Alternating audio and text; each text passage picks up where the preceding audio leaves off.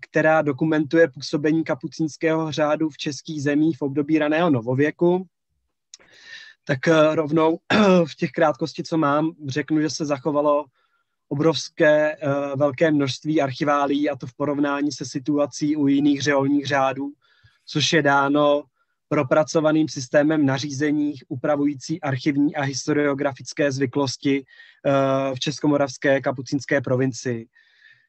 Eh, historiografická archivní praxe v Českomoravské kapucínské provincii v 18. století eh, byla dána především nařízením tehdejšího provinčního vikáře a historika provincie Serafína Melchra z Gluchoras, pozdějšího generálního ministra, vydaného dne 24.11.1737. Tento latinsky psaný předpis, který začíná větou než v překladu zní pozdrav a požehnání od pána všem, kdo se pisují a čtou dějiny konventů.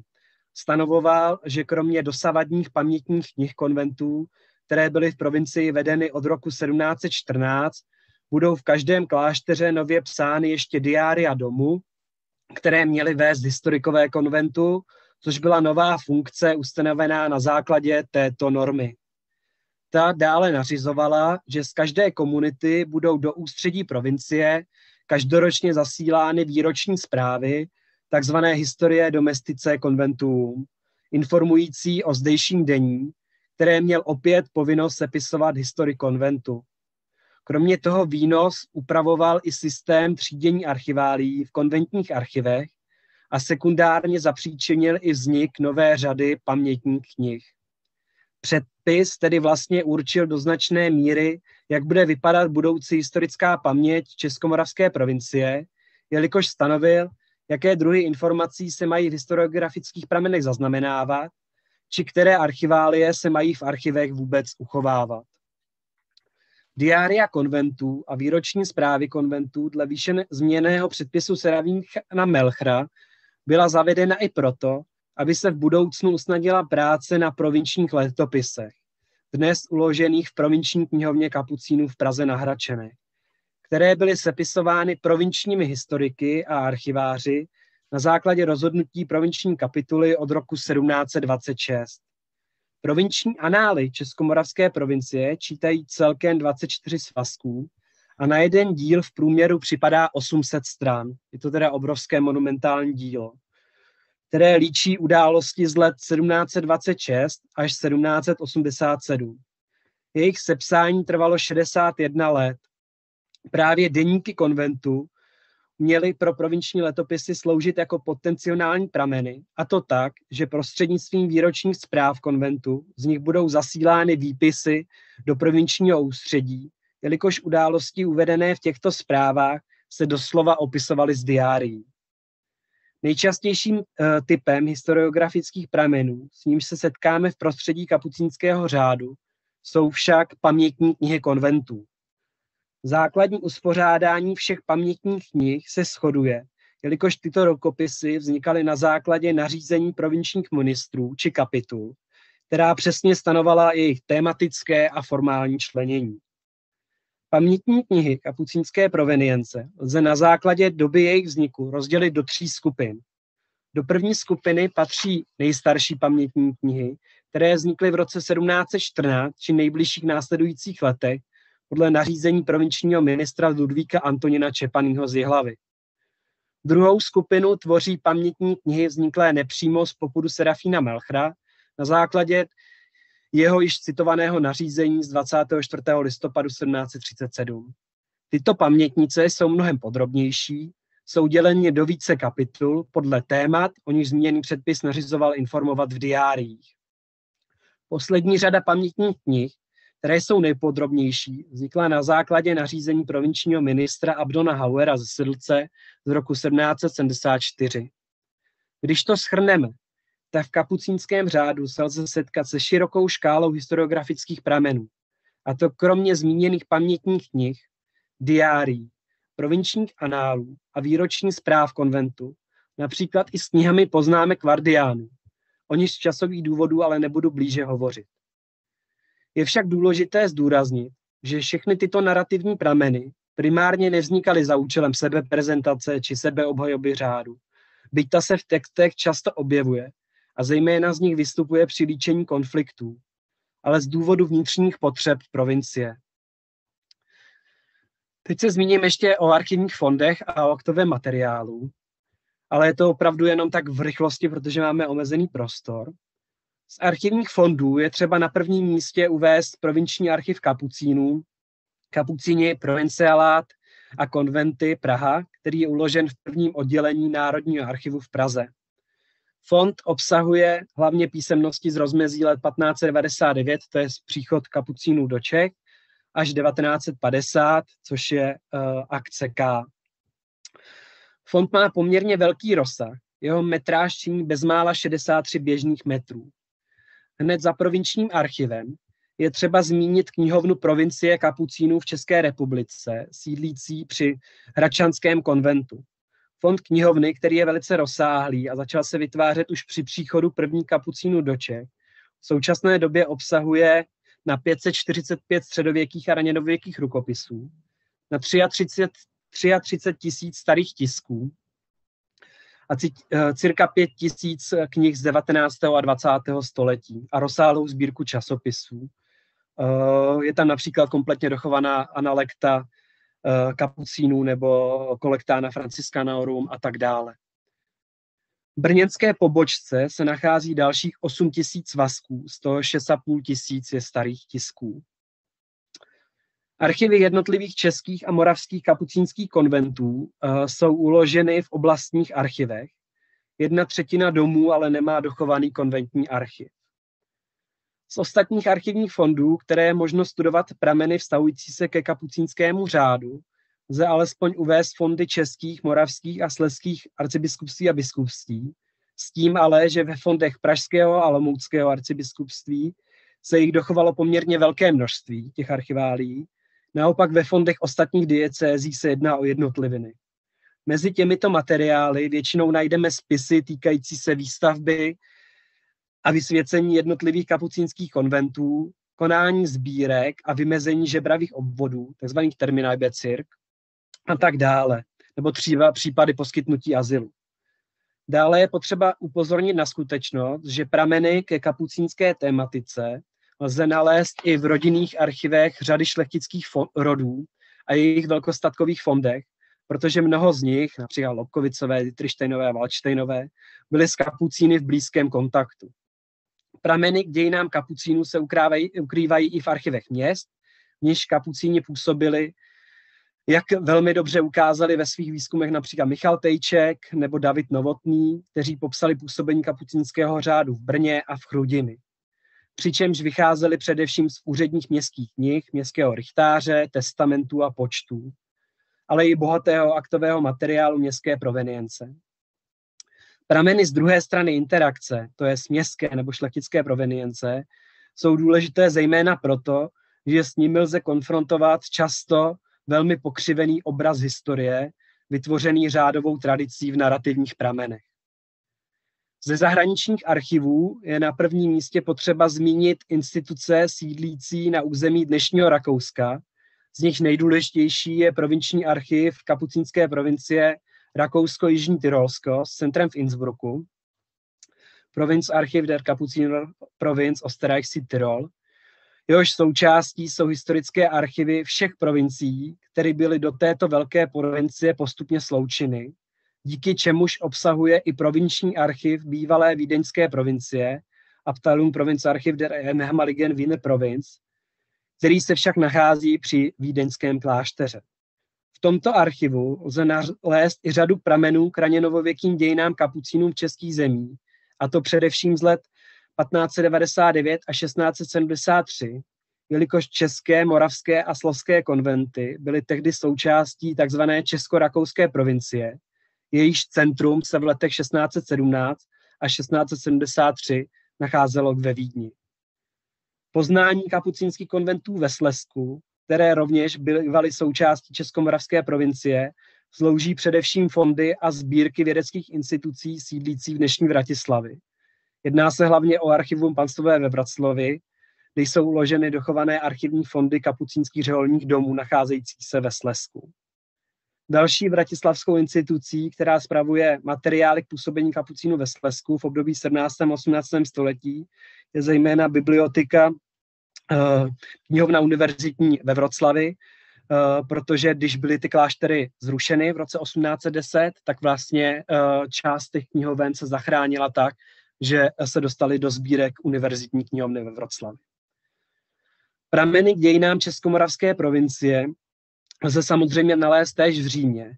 Na prvním místě je třeba uvést generální archiv kapucínského řádu, Archivio Generále Kapucíní, který je spravován Kapucínským historickým institutem v Římu, který je bohužel vzhledem k torzovitosti dochování pro období raného novověku využitelný jen částečně. Prameny samozřejmě se nacházejí i ve Vatikánském tajemném archivu.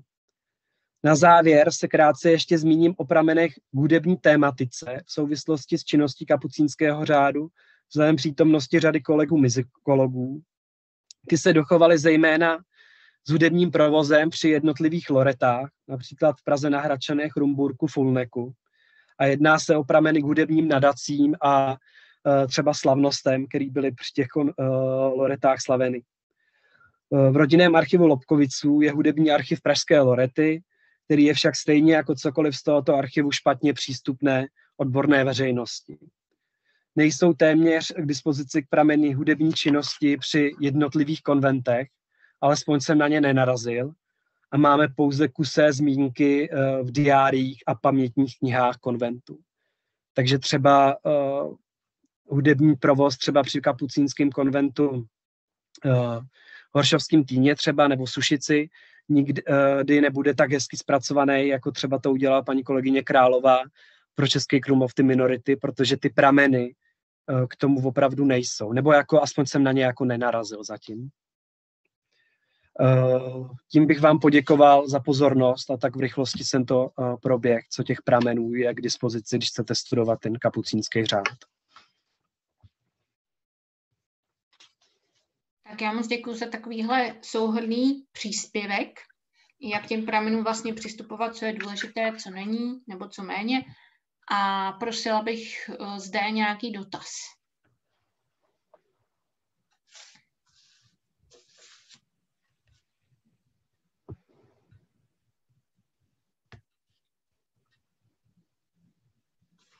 Jo, hlásí se Martin Olé, tak poprosím. Dobrý den, jsem slyšet? Ano. Výborně, skvěle. Mám dotaz. Pane doktore, kolik vás vůbec je, pokud se to tak dá říct, nadsázkou kapucínologů v České republice, protože jsem rád, že tady je Standa Hlaváč a paní magistra Svobodová a já si ještě pamatuju, že není to tak dávno, co jsme jako se Standou Hlaváčem tady mluvili o tom, že problematikou minoritů ve středověku a v českých zemích se pominuly prostě záležitosti, například Anejský klášter Helena Soukupová a třeba souhrnější práce Jiřího Kutana jo, a konzistoriků. Nejnověji třeba Zuzana Křenková, která se věnovala observantské architektuře i s přesahem do Slezska, tak nás tady bylo opravdu velmi málo a pokud já vím teda i z těch setkání v rámci prezentace sborníku Historia Franciskána, tak si bavu jenom uh, bratra Pacifika Matějku, který vždy často zavítával právě do, do konventu Pany Marie Sněžné a především pak vás, jako jednoho ze spoluautorů výstavy na Hradčanech u Kapucínech, teda klobouk dolů před vámi, tak kolik vás vlastně na ten výzkum je, protože přijde mi, že jste vlastně tím hlavním tahounem, teda tak mi to přijde, ale říkám, ne, ne, nemám ten vhled do toho. Tak děkuji.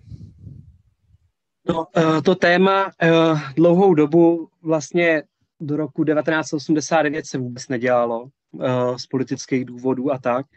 A vlastně uh, furt se vycházelo a furt se opisovali uh, vlastně docela ty nepravdy a to archaické dílo Vavřince Rabase z roku 1937, který je vlastně živý v té historiografii doteď, ale do velké míry uh, je to zkrátka problém s tím uh, dílem pracovat. No, uh, kolik nás je, no, uh, dílčíma tématama se zabývá vlastně docela dost lidí. Když se vezme třeba, uh, třeba kapucíny v Brně, zpracovával Michal Tejček a je k tomu ta výberná studie uh, v Brno v minulosti, uh, myslím, že v roce 2005. Uh, kapucíny v Chrudimi dělal David Novotný, uh, se zabývá Když se třeba vezmou třeba interakce kapucínů a jednotlivých šlechtických rodů, tak třeba interakce kapucínů s Valštejnama dělá Jirka Hrbek.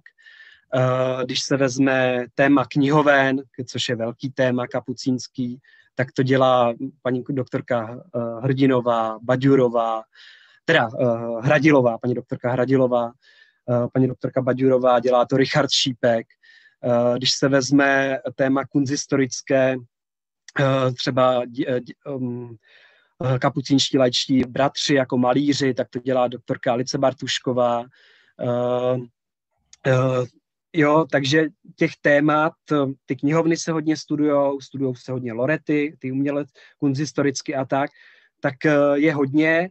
Na druhou stranu hodně lidí dělá jenom ty dílčí problémy a vlastně nikdo pořádně ty kapuciny nedělá, což mi na druhou stranu vůbec nevadí.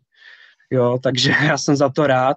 A, a e, teď připravuju v roce 2021 letos má být e, v nakladatelství Karolinum moje rigorózní práce, dizertační práce e, o kapucínech v letech 1599 až 1783. Tak to bych doufám, že to trošku změní pohled na ty dějiny toho kapucínského řádu. No ještě jsem to neodezdal, ten rukopis, už teď to má 1200 normostran, tak uh, uh, už to musím dopsat zkrátka. Ale tak zabývá se tím tématem hodně lidí, ale uh, v, v různých těch uh, dílčích sondách. No. Takže pardon, ještě zmíním Jindy Bonaventura Štěvar, jakožto kapucín brněnský, ten, ten, jo, ten Paradoxně, jo, jo. ale jsem ho spíš, jsem se s tím setkal, že překládá františkánské prameny, takže spíše je spojený jako s tou minodickou částí, než by, ne, ne, nevím teda jako detailně, ale spíš jsem na ně narazil v souvislosti s minority, než s kapucíny. Teda. Vidíte to kapucín. Ano. A jinak Pacifik se tím zabývá, Matějka, ale to jsou zkrátka překlady hmm. uh, zahraničních prací. Jo. To není jeho výzkum, to jsou staré věci, uh, dávno známý, ale dobře, že to dělá a vlastně popularizuje ty práce, které by vlastně uh, by se neznaly. Tak tady Nebo jako doktor... to, ten člověk, ten, kdo by to nedělal přímo, tak by to neznal. Uh, tady pana doktora Maňase ještě uh, z chatu cituji k foneckým kapucínům ze Vrubně z práce Zdeňka Orlity. Jo, na Zdeňka bych zapomněl, na Fulnek, ano. Uh-huh. Jinak ještě zmíním, že z muzikologů uh, se ve své diplomové práci v Pražskému konventu kapucínů um, věnovala Alena Maršíková, která tady dneska měla být, ale bohužel pracovní povinností to nedovolili.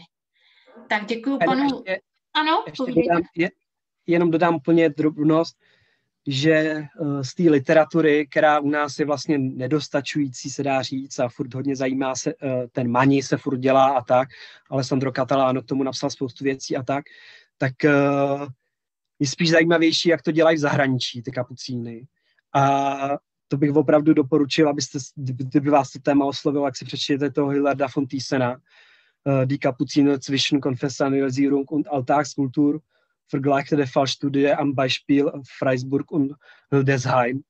A to je opravdu jako stěžejní dílo metodicky, jak by se to mělo dělat, aspoň pro mě, protože já to pokládám za inspirativní z toho pohledu, jelikož to přináší řadu nových metodologických přístupů k té problematice, například vnímání působení řádu v souvislosti konfesionalizačním paradigmatem, vytváření kapucínského řeholního ideálu samotným řádem, či k roli a vlivu uh, řádu ve městě. Jo, můžete to prosím, když tak napsat třeba do no, když ještě, tak, uh, ten název a toho autora. Tak. Díky. Jo. A pardon, nemám kameru, tak se omlouvám, že nemůžu. Jo, jo tak děkuji panu uh, doktorovi Brčákovi a předávám slovo dál dle programu panu docentovi Martinovi Elblovi. Prosím, jestli by mohl něco říci zase o františkánských pramenech a projektech nebo práci na nich. Děkuji. Já budu jenom pár uh, takových poznámek a zmínil bych uh, dva projekty, ke kterým jsem se v nedávné době dostal. Co se uh, týče františkánských pramenů, tak oni mají do značné míry podobnou strukturu jako prameny kapucínské, tak jak o nich tady vykládal Marek. S tím rozdílem ovšem, že u františkánů nenalezneme ty poměrně zajímavé typy, jako jsou diária třeba. Ty, tam čas nalezneme nějaký deník, ale rozhodně nemůžeme mluvit o něčem, o něčem takovém. Podobně jako u kapucínů, hlavním narrativním pramenem jsou kroniky nebo pamětnice, které vedly jednotlivé konventy, které jsou poměrně dobře dochované v několika variantách. Jsou uloženy jednak částečně v Národním archivu v Praze a v Moravském zemském archivu v Brně ve fondu Františkání Dačice. Trošku horší situace je na úrovni celořádové, protože tam františkáni tolik štěstí neměli, protože vlastně ten centrální archív, který byl v Římě v Aračeli, tak z velké části byl zničen při požáru během vpádu napoleonských vojsk a e, vlastně ty, ty centrální prameny, kde se vlastně mimo jiné, kam se odesílaly kopie e, těch pamětnic ze všech provincií, tak e, bohužel tady ten centrální archiv nemáme tak dobře dochovaný. Došlo ovšem k, mezi tím k významnému tiskařskému počinu, kdy Dominik Agubernatis se snažil vydat celou řadu vlastně těch do Říma zaslaných pramenů. Takže ty věci jsou některé dostupné skrze vlastně staré tisky. Jinak eh, ta obecná struktura eh, františkánských pramenů má jednu obrovskou výhodu. A sice, že je to taková jakoby správná míra informací. Jo, že nejsou to jezuité, kde je to noční můra. V případě těch františkánských pramenů lze, eh, jako je v silách jedince, aby když hledá nějaké téma, tak aby opravdu ty nejdůležitější eh, prameny osobně prošel, což v případě jiných řádů tak eh, snadné není. Samozřejmě u Františkánů je velice zajímavé a velice patrné to, jak oni už od začátku se snažili tu paměť eh, vlastně kontrolovat a možná bychom mohli říct až manipulovat, což samozřejmě eh, souvisí že, i s tím rozhodnutím generální kapitoly v Narbon eh, poslat všechny písemné dokumenty o Františkovi a pak je jako všechny víceméně spálit, že jo? s tím, že pouze vlastně ta oficiální legenda napsaná Bonaventurou tak bude prezentována jako oficiální paměť. K čemuž samozřejmě naštěstí úplně takto nedošlo.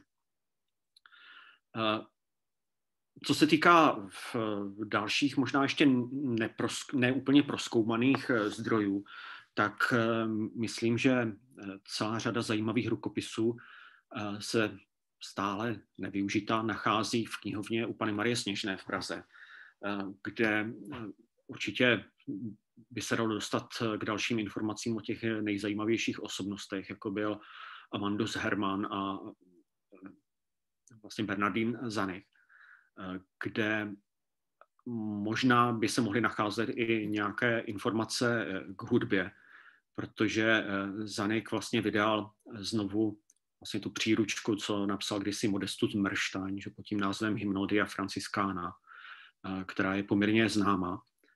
A dost možná, že by se mohlo něco nacházet i v tom deníku a zprávy vlastně z cesty od Amanda Hermana, kdy on putoval na generální kapitulu do Říma. Co se týká uh, nějakých projektů, uh, které v současné době se rozjíždějí, tak jednak je to jeden projekt, o kterém už jsme slyšeli, na kterém se podílí paní kolegyně Svobodová. A sice, že na naší katedře vlastně kolega Antonín Kalous má na starosti projekt Expro, který má Eh, který se zaměřuje na reformu, reformaci a observanci. Takže vlastně tam by mělo dojít eh, k vydání všech těch, nebo těch nejdůležitějších narrativních pramenů, ať už to jsou ty obě, obě kroniky eh, z té observantské etapy řádů, a nebo vlastně i potom to pokračování, které je vlastně přilepeno k té jedné z těch kronik, která je uložena v knihovně Národního muzea. Tady bych chtěl jenom podotknout Vláďa Maňas tady zmínil terminologii, která je samozřejmě velice důležitá. Ona se často operuje s tím pojmem observanti, eh, který má skutečně svůj význam pro to středvěké období a ještě potom pro 16. století, ale eh, vlastně ta česká pravi, eh, provincie tady tenhle, ten, tuhle tu větev řádu opustila v 17. století. To znamená minimálně po roce 1660 je ten termín vlastně anachronický pro ty české, české františkány. No a součástí tady tohoto projektu bude vydání vlastně tady těchto těch eh, eh, kronik plus eh, korespondence Jana Kapistrána, té české konf- korespondence. Takže toho, zejména ta korespondence by měla navázat na ty další mezinárodní projekty maďarských, italských, polských a jiných kolegů. Ten druhý projekt je zatím takovou velkou, velkou neznámou, jak se dále vyvine a musím se omluvit, protože došlo k nějaké trošku chybě uh, v komunikaci a už jsem nestačil uh, pozvat svou uh, doktorantku Ivanu Platilovou, která vlastně začíná pracovat na své dizertaci, která by se měla také dotýkat františkanské problematiky, ale z toho pohledu Digital Humanities – kdy vlastně tím jejím primárním zájmem nebyli ti františkáni, ale možnosti využití počítačových, především, především lingvistických metod. A vzhledem k tomu, že mě nic jiného nenapadlo, než zase ti františkáni, tak se mi doporučilo, aby se zkusila tady na tuhletu problematiku podívat. A vlastně to východisko spočívá v tom, Eh, využití vlastně vytvořením korpusu a vytvořením potom všech nějakých eh, možných programů pro analýzu eh, textů. A tou hlavní myšlenkou je vlastně sledovat to, jak se v raně novověkých pramenech objevuje, objevují různé narážky, sekvence slov, úryvky a třeba i kolokace a podobně, které vycházejí z těch raných františkánských pramenů. Jo, že jsme vycházeli z toho, že to byly texty, které oni pravidelně slýchávali v těch refektářích a podobně a e, že bychom se chtěli podívat prostě na to, jak to, jakým způsobem to ovlivňovalo e, jejich rétoriku, včetně třeba potom kazatelství a podobně. Ale tam bude primárně ne o ty františkány, ale spíše opravdu o to otestovat, kde jsou možnosti a kde jsou limity některých metod uh, digital humanities. Tak to je asi vše z mé strany. Děkuju. Děkuji za velmi zajímavý referát se všech úhlů pohledu a zase prosím uh, případné dotazy.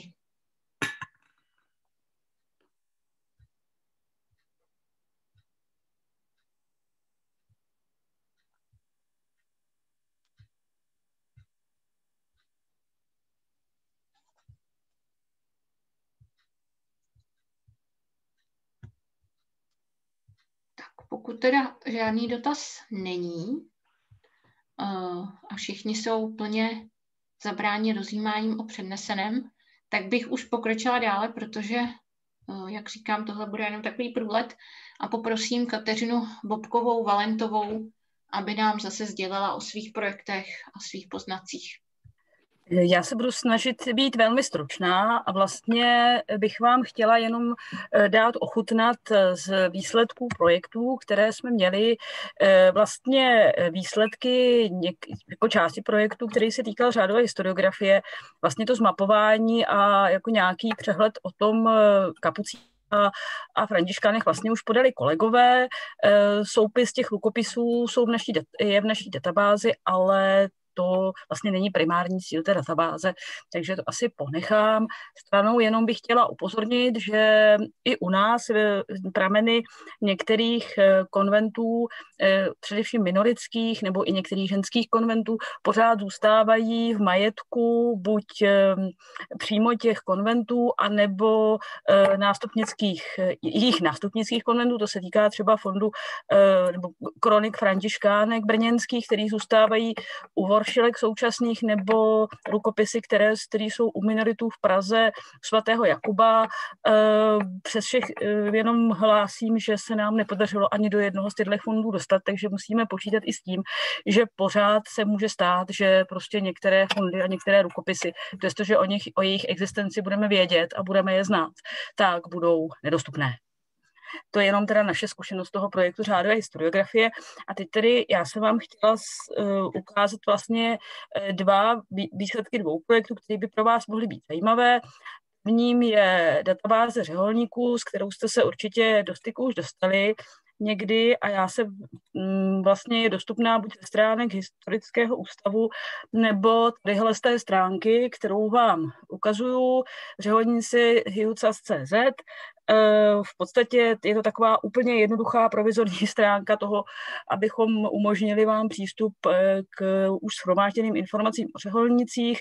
Vlastně už deset let se víceméně snažíme v databázi schromažďovat eh, ty údaje o řeholnicích různých řádů, které nám přijdou pod ruku, abych to řekla takhle přímě. Jo? Není to tak, že bychom dělali Tedy ze začátku jsme se pokusili do toho přespsat vydané vydané soupisy, případně překlopit databáze, to je případ databáze Pacifika Matějky pro kapucíny, o tom ví Marek Brčák své a jenom díky němu, eh, tedy díky Markovi, se momentálně ta, ty údaje z té databáze dostávají do nějakého eh, stavu tak, aby to bylo únosné.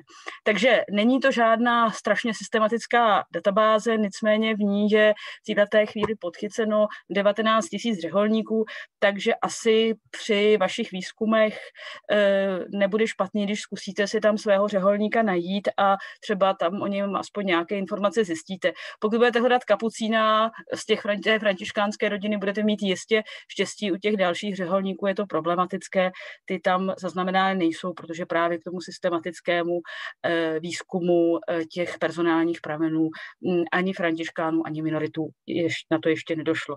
Nicméně postupujeme tak, že kdo co potřebuje vybádat, to se tam snažíme zasto- eh, nějakým způsobem dostat a nějakým způsobem to pracovat, takže e, je prostor samozřejmě tam i z vaší strany, kohokoliv z vás, cokoliv přidávat. Když e, někdo je dokonalý, jako je Marek Bačák a bude bádat, tak vlastně je schopen vyrobit takovýhle, ne, takovýhle životopis, takto strukturovaný řeholníka, kde byste se měli o tom řeholníkovi dozvědět jeho základní životní údaje, e, údaje o vstupu do řádu, potom tedy samozřejmě o, o nějakou charakteristiku jeho a pak vlastně by mělo následovat e, vypsání jeho životní dráhy rok po roku, systematizace rok po roku vznikla vlastně jako re, samozřejmě tak, že uh, databáze má, mají radši údaje k jednomu roku než nějaké rozsahy, to je vždycky problematické a vlastně většina těch peregrinujících řádů v podstatě potřebuje,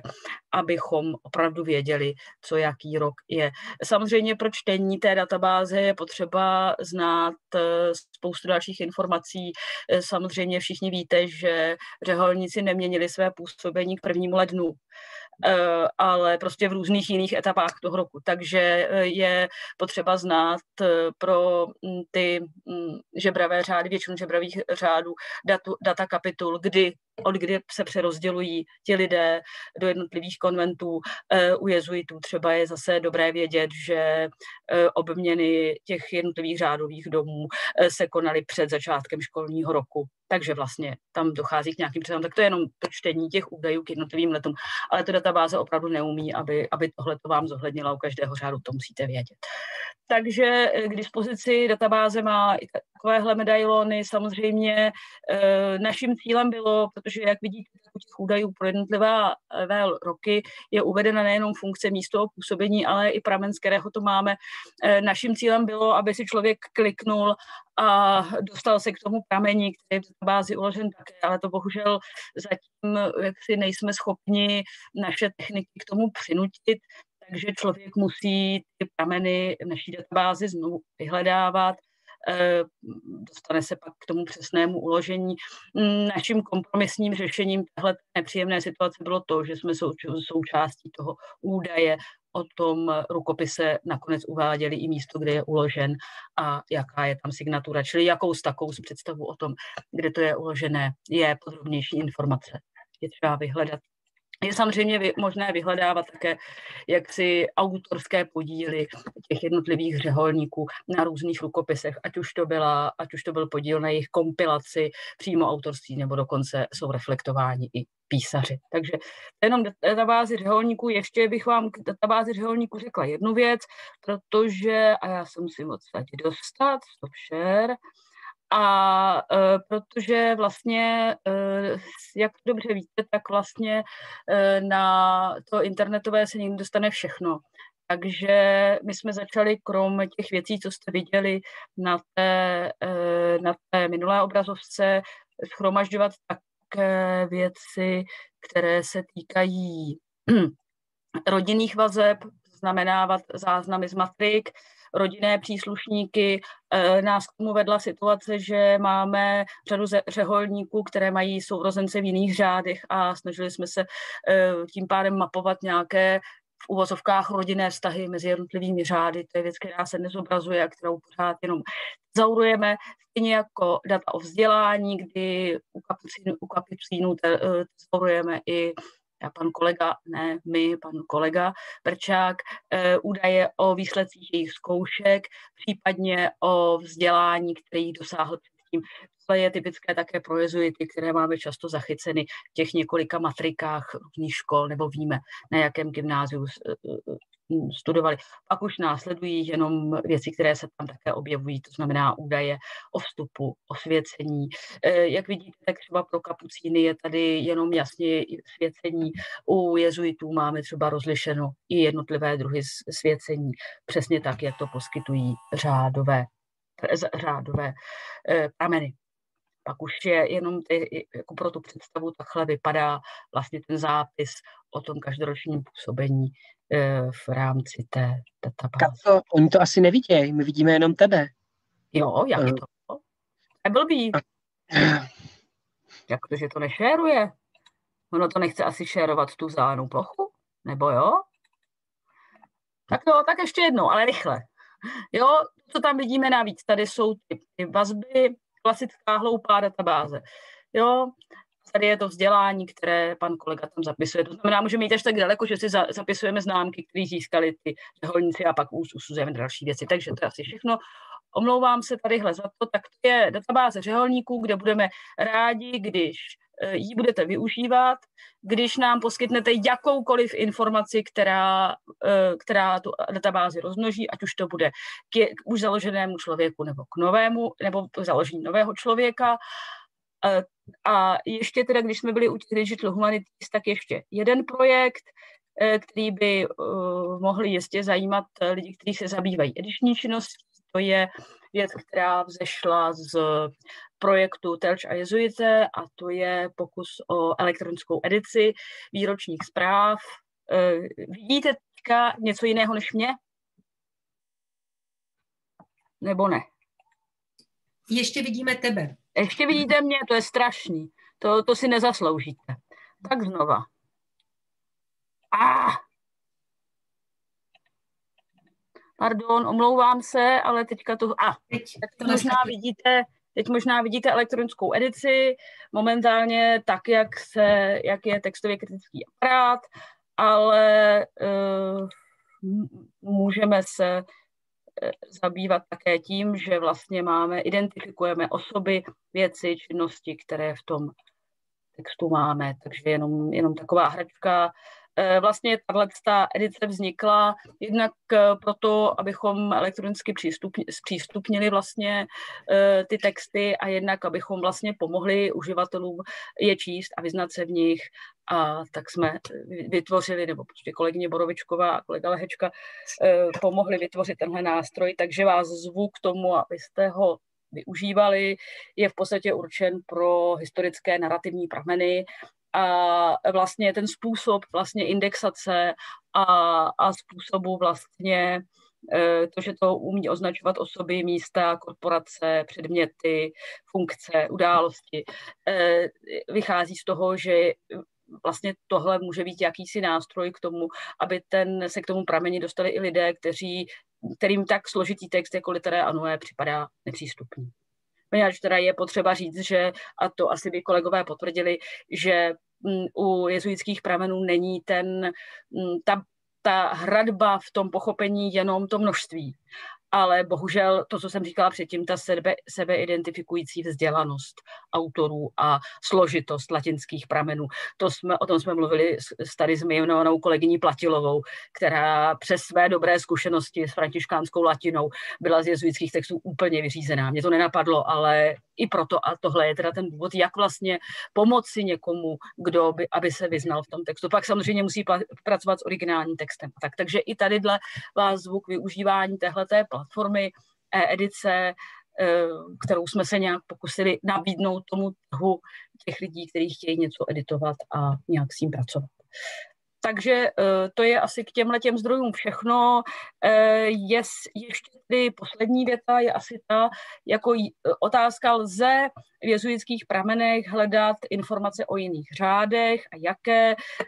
Byla bych, myslím si, že jsem velmi skeptická k tomu, kolik se toho o jiných řádech dá v jezuitských pramenech najít.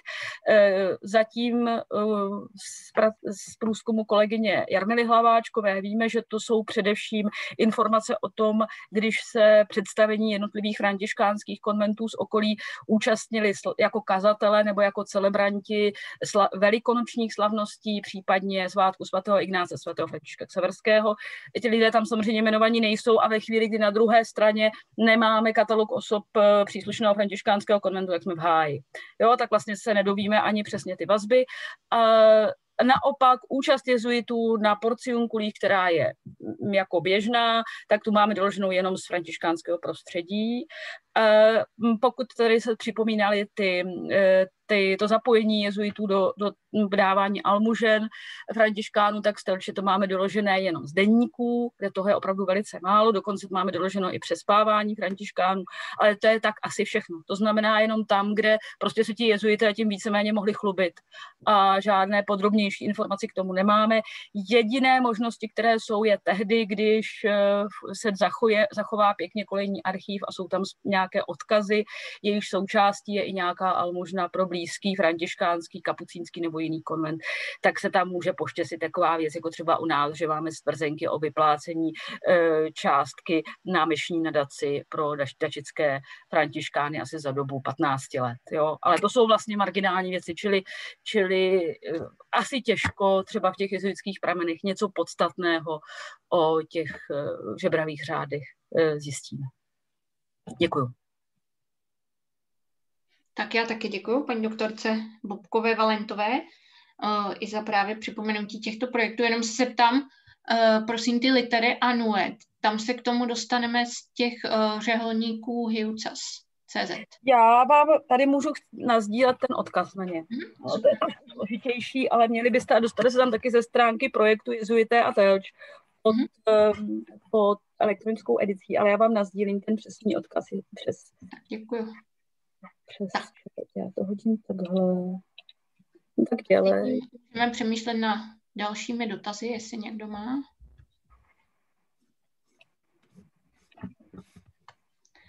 Tak, uh, ptá se Matyáš uh, F. Weiger, prosím, je někde k dispozici popis struktury a obsahu záznamů vhodných pro vkládání do databáze řeholníci?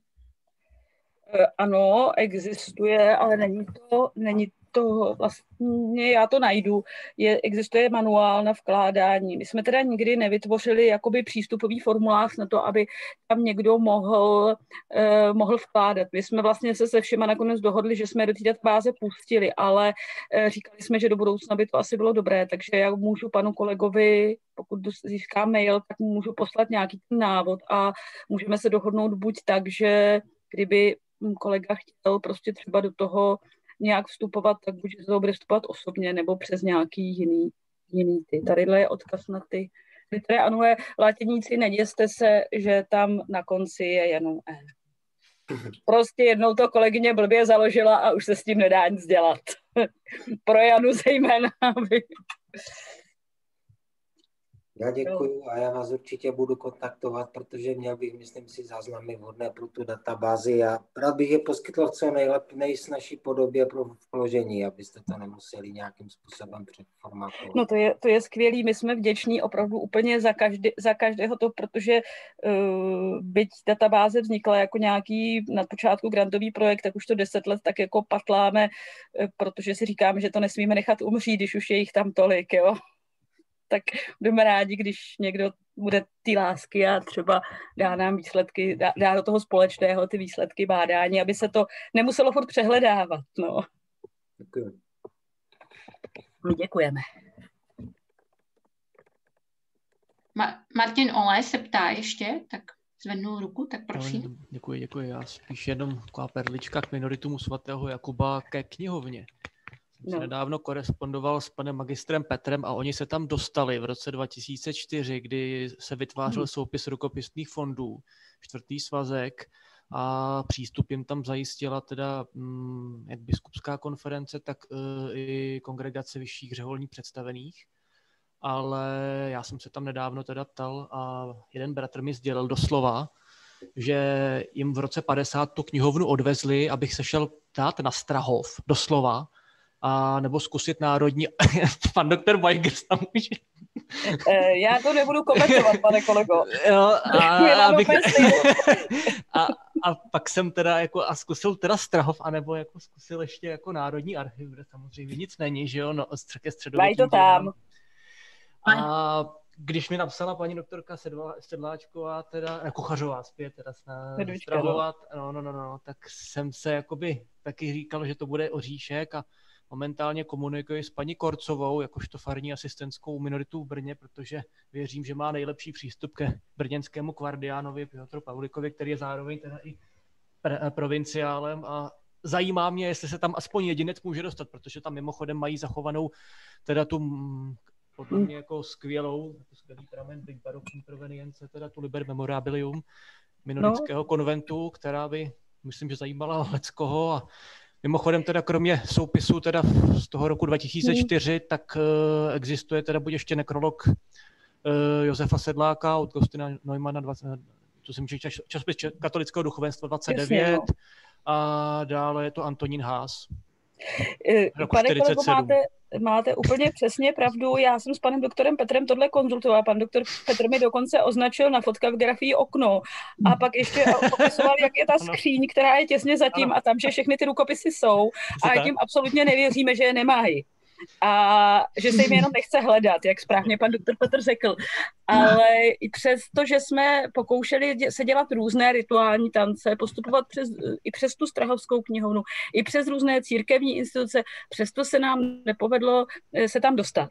Eh, podobné, i ten důvod, eh, nevím, jaký je důvod u, u, u Voršilek v Brně znám, tenhle ten důvod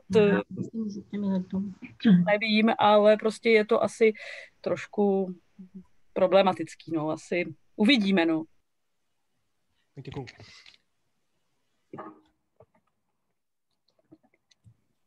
Jo, slyšíte mě? Už, už tě slyšíme. Já jsem ta druhá, která tenkrát v tom roce 2004 v té knihovně byla. A byla to asi schoda náhod a na té knihovně je prostě znát, že je v úvozovkách tak nějak jakoby pole neorané. Prostě celé, rok, celé roky na ní nikdo nesáhl. Spoustu věcí, které jsme chtěli najít podle signatur, tak jsme nenašli a nemyslím si ani tí, tomu, díky tomu, že by tam nebyly, ale že tam je prostě takový jako nepořádek a chaos. A mimochodem ty věci, které byly eh, před rokem 89 v památníku, tak jsou tam v předsálí složené na hromadách. A po druhé už se nám tam vlastně jako by dostat nepodařilo. To byla nějaká šťastná hvězda, která nám prostě zasáhne. Ona tedy existuje, ale jako... No. Takže budeme, budeme uzavírat sázky, komu z nás se povede tam dostat. Asi jsme byli poslední šťastlivci. My ne, my jsme se tam taky nedostali. Vy jste byli naposledy, no? Ano.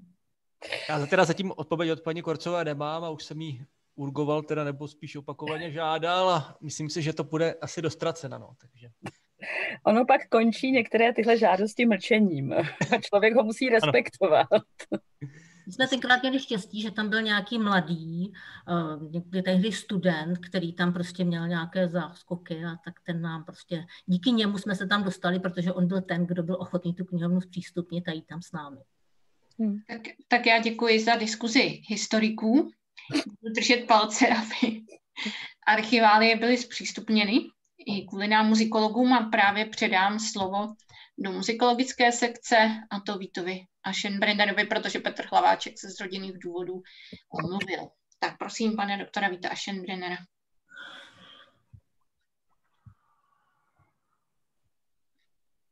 Omlouvám se, byl jsem trošku mimo počítač, takže pardon.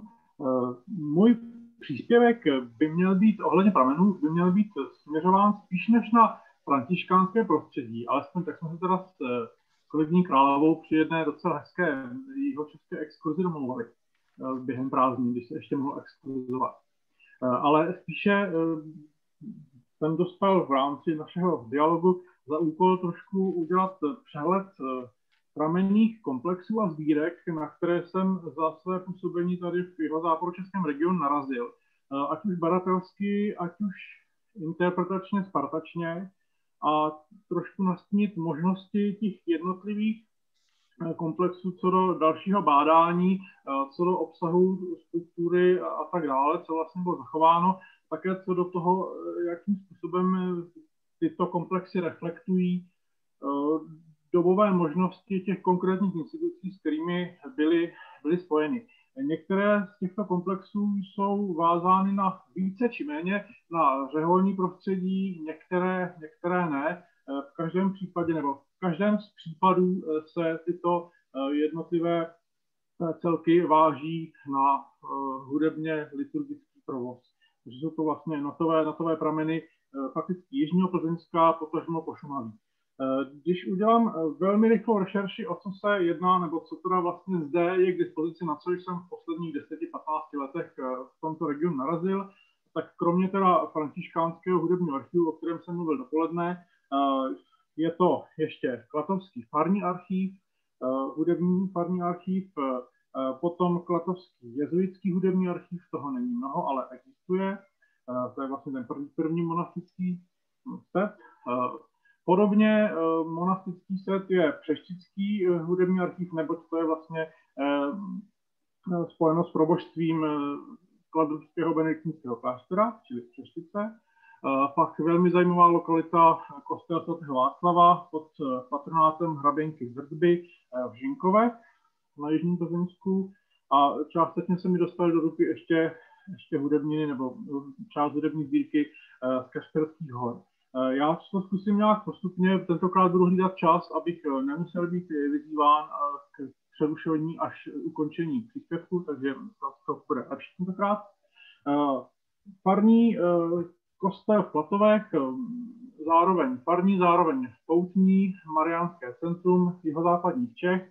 Z této lokality od této instituce se dochovaly prakticky stovky, stovky hudebnin, přičemž eh, jejich chronologický záběr je zhruba v eh, 60. léta 18.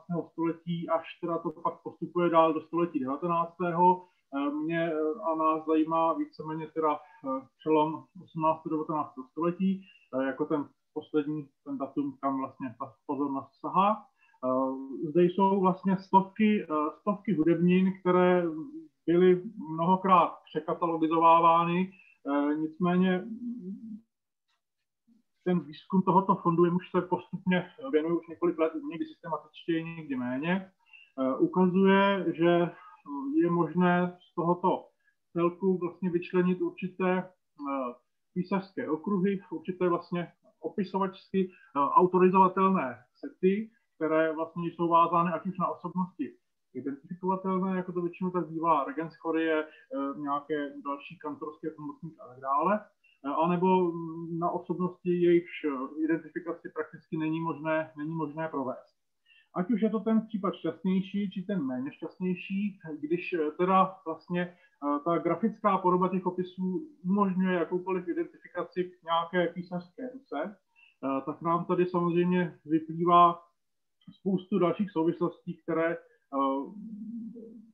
tímto jsou, jsou určeny. Mně se podařilo identifikovat eh, významné dva, tři regenskorie Klatovské, Klatovského farního kostela, eh, přičemž ten první z nich působil, dejme tomu, 40 let, 1740 až 1783 zde a vzhledem k tomu, že se dochovalo zhruba asi 50 hudebnin, tak je možné na jeho poměrně vyprofilované ruce pozorovat asi, jakým směrem se ubíral jeho repertoárový dramaturgický záběr, záměr a vlastně jakým způsobem on teda eh, vedl eh, ten hudební život eh, této významné instituce.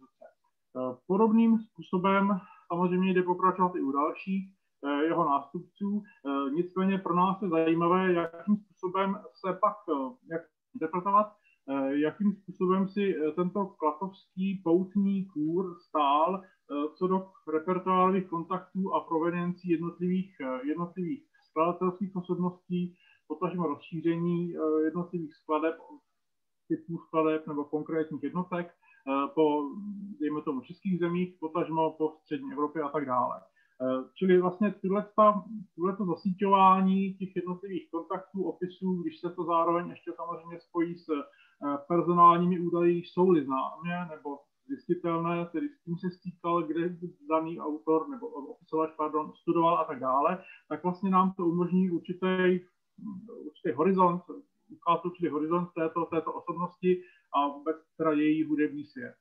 Čili tohleto v Klatovském případě je poměrně dobře, dobře eh, zjistitelné, nebo ti hudebnění je jakoby relativně docela dost. U těch eh, nástupců této osobnosti samozřejmě ty, ty, to množství hudebnin exponenciálně roste, čili vlastně další regent scory, který nepůsobil jenom 40, nepůsobil 40 let, ale jenom let 10, tak už po něm je zachováno vlastně třikrát více hudebnin a tak dále. Čili tímto způsobem je možné vlastně donutit tu hudební sbírku nějakým způsobem eh, vypovídat o, o struktuře zájmu, rozšiřování repertoáru a tak podobně. Tak to se, se mi podařilo například eh, identifikovat příchod prvních eh, Mozartových skladeb do Klatov a tak podobně. Takže vlastně let, které významné relevantní detaily takto mohou spatřit světlo světa. Čili toto je vlastně asi největší Eh, pramenný celek, který teda v jižním, na jižním Plzeňsku máme.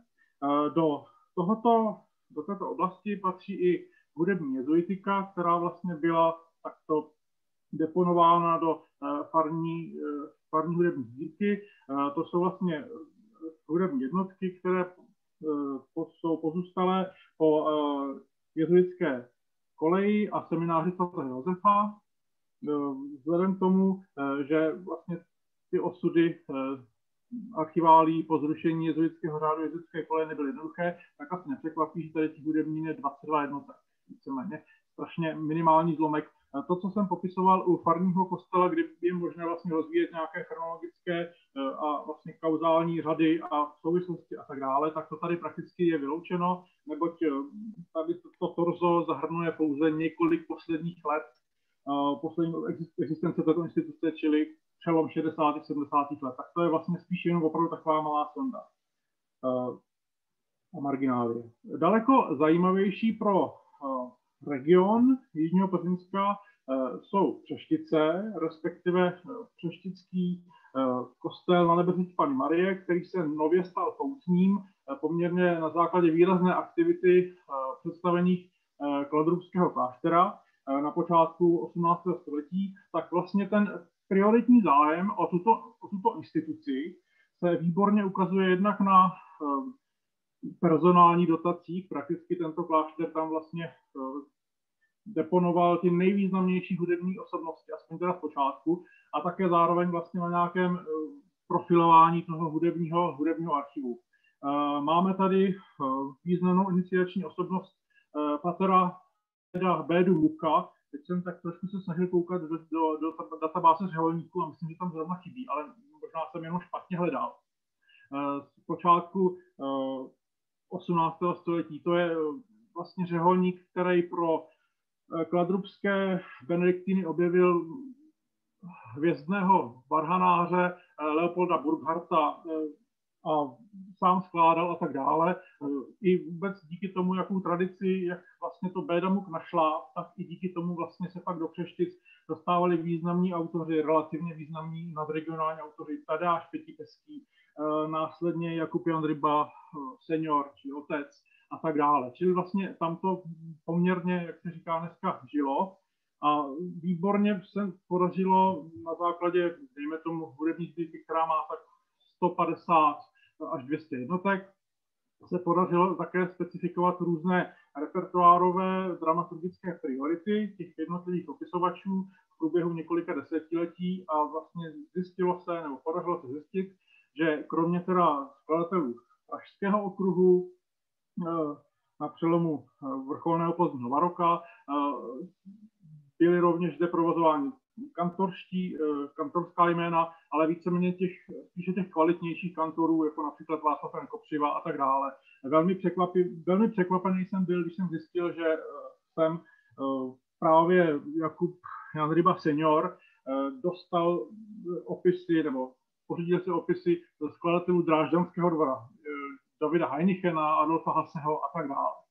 A ještě větší překvapení bylo, když jsem zjistil, že v Přeštickém kostele někdo, nevíme, co to je za ruku, kdo to vlastně opisoval, obsal rekviem Klatovského Regenschoryho Jana Václava Flašky. To je právě ta osobnost, která působila 40 let v Klatovech a je to vlastně první a zatím teda poslední objevená skladba tohoto, tohoto Regenschoryho. Obsali si ji v Přešticích už tohle to vlastně ukazuje na další možnost, co se s těmito eh, pramenými, pramenými eh, sety eh, dá, dá realizovat. Vlastně důležité je také to, jestli se podaří objevit nějaké kontakty a sítě kontaktů a hudebních vztahů, transferů, repertoárových, opisových a tak dále mezi jednotlivými lokalitami Eh, toho širšího regionu. Čili v tuto chvíli nacházíme kontakty mezi dvěma poutními centry, což je velmi zajímavé. Eh, Klatovy, eh, Přeštice, zároveň se mi podařilo najít některé přeštické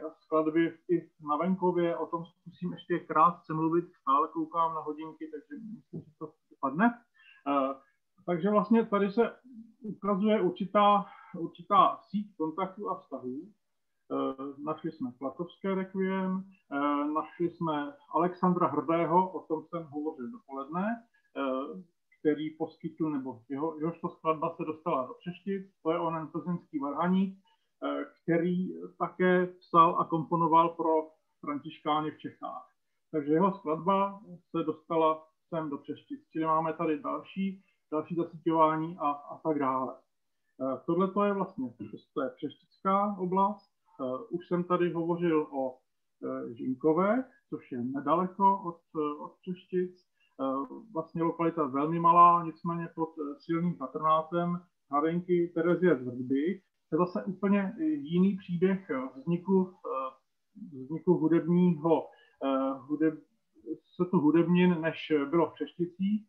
Tady prakticky jsme svědky jednorázové fundace Fabienky Marie Terezie z Vrdby, která po té, co postavila nový, nechala postavit nový barokní kostel eh, na místě schořelého a fundovala zde stavbu Varhan, tak prakticky eh, do jednoho, do dvou let potom nakoupila hromadně mnoho vlastně eh, celků od loterské a zburské tiskárny, Antonio Caldára, Valentin Radgeber, Paul Ignatius Lichtenauer a další. Čili vlastně hm, tato nesmírná investice tisků to je naprosto nevýdané vůbec tady po celém Jižním Plzeňsku, že by takto najednou prakticky dorazili na nově vzniknuvší kůr venkovský.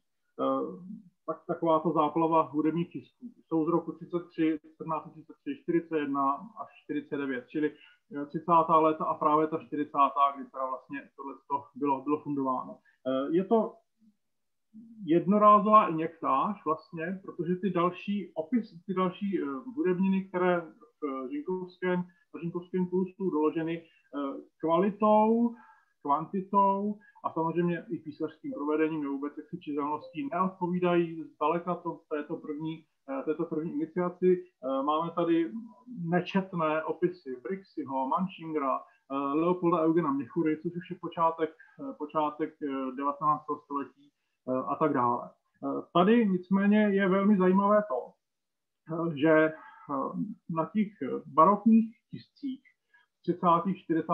let jsou záznamy, které ukazují, že se z těchto tisků, které byly čitelné, přehledné, byly k dispozici hlavně a ta hudba byla velmi solidní, tak se z těchto tisků hrálo ještě eh, na počátku, na počátku 19. století. Eh, jsou tam různé vpisky, eh, datační, interpretační, textové a tak dále. Čili vlastně tohle je důkaz toho, že když ta lokalita prakticky nefungovala úplně eh, dobře po finanční stránce, eh, po stránce intenzity provozu a tak dále, tak prakticky nebyl problém eh, zde realizovat starou hudbu, vlastně přistupovat k tím starším hudebním pramenům a nějaká hudebně stylová aktuálnost, avantgardnost nebo něco takového prakticky, zejména z ekonomických důvodů, Eh, nesměli, nemohli, nesměli hrát žádnou roli. Takže to je vlastně také další, eh, další takový střípek eh, do té celkové plurality těch jednotlivých jednotlivých lokalit. Zatímco například v Klatovech něco podobného vůbec nepřicházelo do úvahy, abyste hráli staré skladby 60 až 100 let ještě v této době, v počátku 19. století to vůbec ne. Takže i tímto způsobem vlastně je možné trošku přistoupit k těm jednotlivým prameným, prameným cyklům. Samozřejmě chtělo by to udělat zásadní katalogizaci, včetně hudebních incipitů a tak dále, abychom mohli zpřesnit tyhle věci, které se tak více či méně vychází na povrch, aby teda jsme mohli skutečně zasadit ty jednotlivé vlivové směry, to zasyťování těch, toho repertoáru do nějakých konkrétních kontur. Dneska už je to možné, nicméně otázka, jestli to půjde. Já bych byl určitě pro a zkusím do budoucna se tímto způsobem ujmout spíš těch menších celků, které mají v rámci desítek, stovek jednotek, zatímco ty velké, ty stovky, případně tisíce, tak tam je to samozřejmě komplikovanější. Tolik teda takový můj raport z těch základních hudebních lokalit, kde se ještě dochovali, dochoval pramen materiál z 18. století. Děkuji za pozornost. Jestli máte dotazy, tak jsem připraven, budu-li vědět, se zodpovědět. Tak já děkuji panu doktorovi Aschenbrennerovi. Ještě bych přidala, že taky vydává uh, notové edice právě z toho, co zkoumá, uh, z těch sbírek, které zkoumá. A dala bych uh, dále prostor dalším dotazům. Zda někdo má?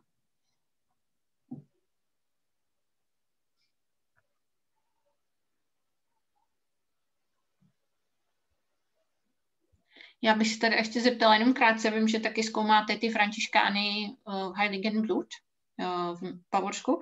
Jestli krátce byste mohl třeba srovnat právě tu jejich kulturu uh, s tím západo, západočeskou hudební kulturou. Něco krátce k tomu takhle. Jak se to liší nebo jaká jsou specifika?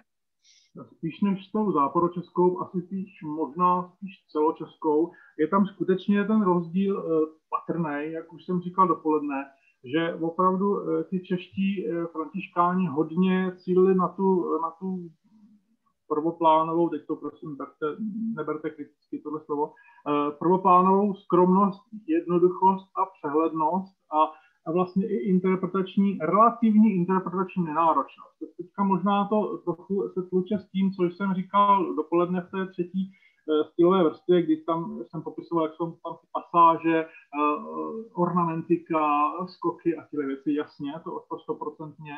Nicméně, když to srovnáme eh, s tím bavorským repertoárem, tak tam je toho ještě daleko více. Tam přichází do úvahy i používání hudebních nástrojů, netvrdím, že pořád, ale sem tam jsou tam odkazy, kdy třeba ritornely k jednotlivým áriím. Většinou teda jsou to, jsou to mše kantátového typu, jak se říkávalo, takže vlastně číslované mše, které jsou skutečně rozsáhlými skladbami, trvajícími mnoho, mnoho minut jednotlivé části.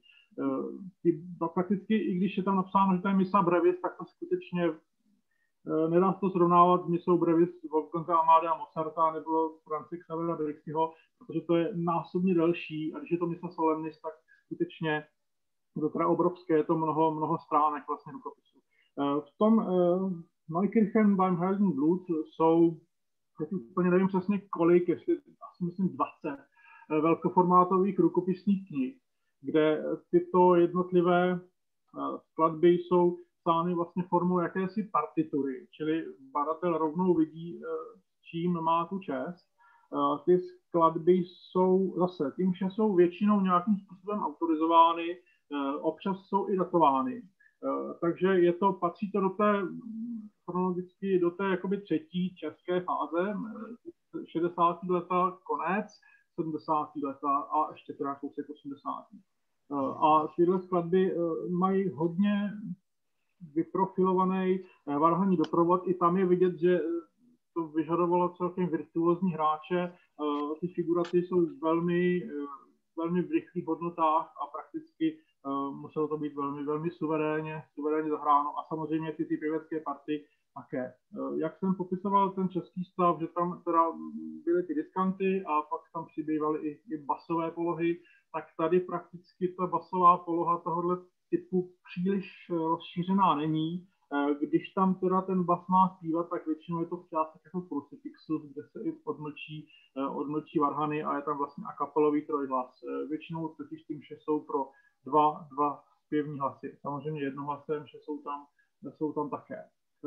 Co se týče harmonické složky nebo nějakého kompozičního vývoje, tak většinou tady ty prameny jsou už z této závěrečné fáze, kdy to víceméně bývá takové spíše zjednodušování, prakticky tonika dominanta a modulace do, do pátého stupně a zpátky paralelní eh, šestý stupeň a tím to víceméně, víceméně končí. Všechno, co eh, bere pozornost, eh, tak z oblasti té hudební ornamentiky, pasáží a, a melodických témat, která jsou teda vlastně velmi, velmi solidní. Je to, na této, je to v této fázi. Nevím o tom, jestli bavorští kolegové to nějak katalogizovali jinak, než že udělali PDF soupis, jak se ty skladby jmenují, což víceméně muzikologům mnoho neřekne. Jo, myslím si, že ne, eh, že nic takového tam také neprobíhá katalogizačního a stálo by to za to eh, to samozřejmě udělat, nicméně eh, v badatelské situaci v České provincii to vzhledem k té jakoby myšlenkové moc nepomůže. Tady to repertoár patrně se neprožínal. No i když může se stát opak, že můžeme zjistit nějaký zázrak, ale spíše ne. Tak to vypadá asi Neukirchen. Dobře, děkuji moc za odpověď. A přistoupila bych teda k dalšímu řečníkovi, což jsem já. A do chatu jsem uh, se pokoušela nazdílet handout, který jsem připravila s literaturou k řádu minoritů, hlavně k 17. 18. století, ale nevím úplně, jestli se tam objevily. Jestli mi můžete říct, prosím, je, jestli to tam je? Markéto, myslím, že to tam není. Jo, zkuste to poslat ještě jednou. No, ono tam je právě uh, chyb, Network Disconnect, což jako nevím úplně, proč se to tam... No, to, to bych nemačkala teď. jo. No, jako se mi to objevuje. No, když tak to nazdílím na obrazovku a zájemcům bych to pak poslala. Uh, no, asi se to nějak neobjevuje, tak já to našeruju. Můžete to poslat mě eh, do e-mailu a já to tam zkusím přihodit. Dobře, tak uh, hned to udělám. Tak. Hm.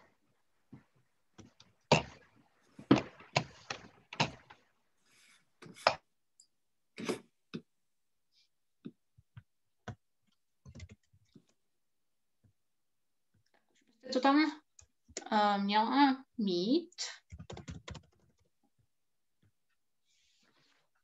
E-mailu? Teď, teď jsem vám to poslala. Mm-hmm. Tak. Když tak nevadí. Já... To je tady, jo, tak mluvte, já to tam zkusím mezi tím hodit.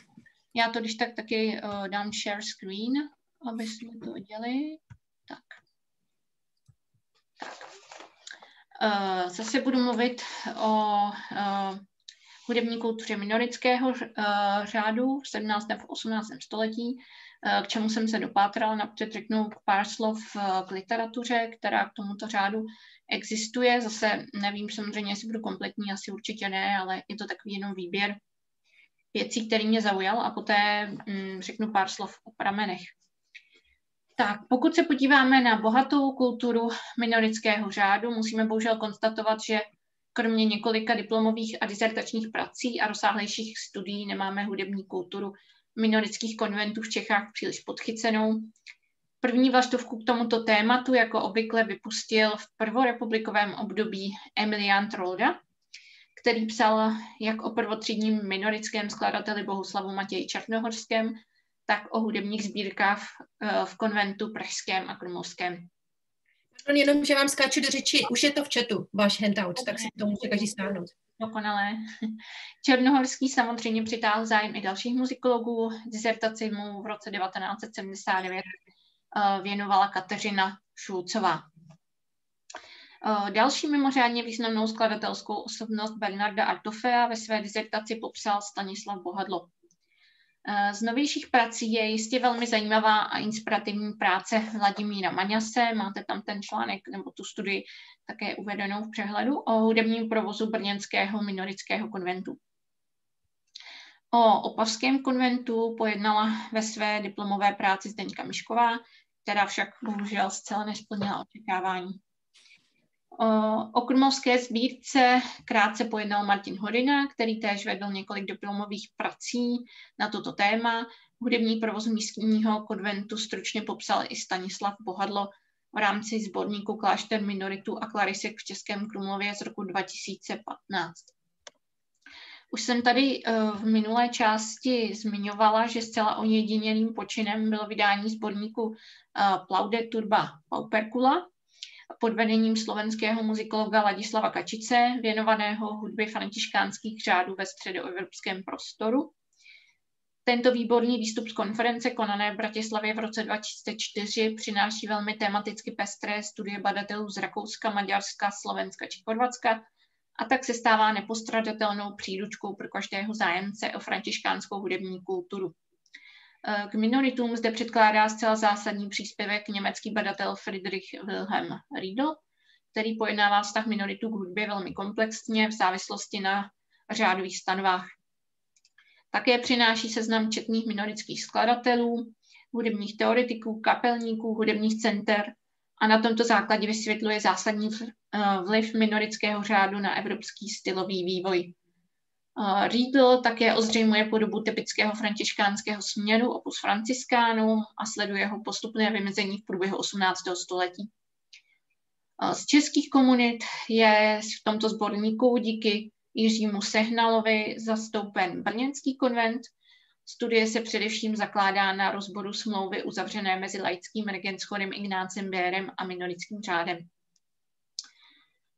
Posledním velmi zdařeným příspěvkem poznání fungování hudebního provozu v klášterech je publikace amerického muzikologa Roberta Freemana, eh, který popisuje bohatou hudební kulturu eh, opatství v Melku. Je to teda samozřejmě úplně jiný řád v 18. století, ale eh, tato publikace vynikajícím způsobem podává přehledný návod, jak pracovat s klášterními archiváliemi a jak je interpretovat.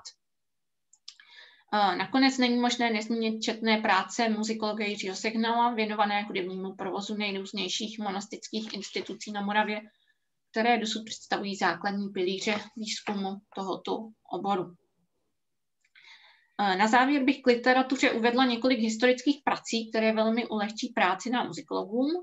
Jedná se především o rozsáhlý slovník řádových historiografů s názvem Historia Scribere z roku 2018, Jednotlivá hesla pojednávají o životě pisatelsky aktivních řeholníků všech denominací, včetně rozboru jejich zásadních děl. Typologii baretních klášterních slavností hodně stanuje olomoucká historička Jana Opoltová, jednotlivé typy klášterních archivárií jsou velmi detailně analyzovány a klasifikovány v článku historiografické a biografické prameny v prostředí českých, moravských a sleských řeholních domů raného novověku. Co se týče pramenů, tak opět vycházím ze své dizertační práce, kterou jsem věnovala Krumovskému konventu minoritu a klarisek. A fond tohoto konventu je uložen v státním oblastním archivu v Třeboni Hlavní pramen představovala zmíněná pětidílná pamětní kniha konventu Liber Magistralis, vedená od roku 1678 až do zrušení kláštera v roce 1950. Sledované časové období je přitom zachyceno na 500 stranách latinského spisu v prvním a druhém a třetím dílu.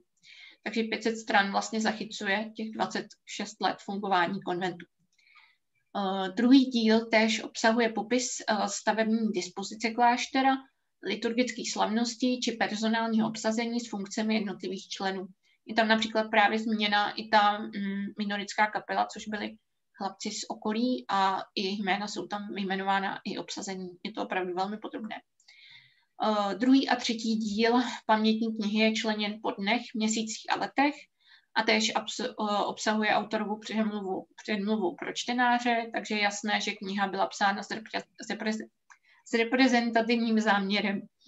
Jedná se o odkaz pisatele pro další generace. O tom jsme tady právě mluvili, že je potřeba k jednotlivým zápisům přistupovat s kritickým odstupem a nebrat pisatelova tvrzení jako věrný odraz reality. Vše je líčeno spíše v lepším světle a zásluhy konventu či patronátní rodiny jsou zde zdůrazněny na prvním místě. Dalším důležitým zdrojem bylo klášterní Directorium Superioris Krumoviensis z roku 1738, které stanovuje podobu liturgického roku a jeho hudebního doprovodu. definuje závazky řádu patronátní rodině a určuje životní podmínky a povinnosti klášterních muzikantů. Rozpis je členěn po jednotlivých měsících a dnech. Popis liturgických slavností pro každý den týdne i jednotlivé měsíce je tež obsazen v rituále Ecclesiae Conventus Krumloviensis. Tento dokument pochází až z roku 1755. Předpokládám ale, že ty též předpisy platily i v roce 1750. Částečně jsem též vycházela z dochovaných účtů, seznamu klášterních fundací, instrukcí a podobných dokumentů. Eh, doplňující informace o konkrétních členech řádu či liturgických směrnicích eh, bylo nutné dohledat v Národním archivu v Praze ve Fondu řád minoritů. A eh, jak jsem říkala, informace z Českokrumlovského konventu jsou důležité především proto, že zachycují i hudební kulturu sester Klarisek, o níž nemáme z jiných konventů žádných zpráv. Eh, dalším zásadním pramenem je samozřejmě dochovaná hudební sbírka z 21 tisky, uložená v historických fondech jeho České vědecké knihovny v Českých Budějovicích, pobočka Zlatá koruna. Eh, teď reaguji ještě eh, na výzkumy pana doktora Maňase a pana profesora Sehnala, kteří se věnovali Brněnskému konventu, kdy třem základním dokumentům z Českého Krumlova, to je pamětní knize, direktoriu a rituále, odpovídají i zásadní archiválie Brněnského konventu, a to brněnské manuále, psané stejně jako v Krumlově představený konventu, smlouva konventu s najatým regenschodem, která stanoví jeho plat a povinnosti, a liturgické předpisy s názvem Functiones et Ceremonie. Eh, závěr, eh, závěrem by se dalo říct, že pro poznání hudební kultury minoritů v Čechách a na Moravě je nutné vytvořit základní celkový přehled dochovaných hudebních pramenů a archivních strojů z minoritských konventů. Poté bude možné zhodnotit jejich kvalitu a ty nejzajímavější podrobit odpovídajícímu důkladnému výzkumu. Samozrejmým plusem by bylo také spolupráce s mezioborovými databázemi knihověda.cz, o které bude ještě řeč, a řeholníci uh, uh, na historickém ústavu. A ke zvážení je také zapojení se do zahraničních databází, které produkuje, produkuje například rakouský projekt Kloster Musik Sammlungen uh, anebo rozsáhlé polské Fontes muzice. Tak to děkuji za pozornost, toto byly mé návrhy a prosím za, na, o vaše reakce případné.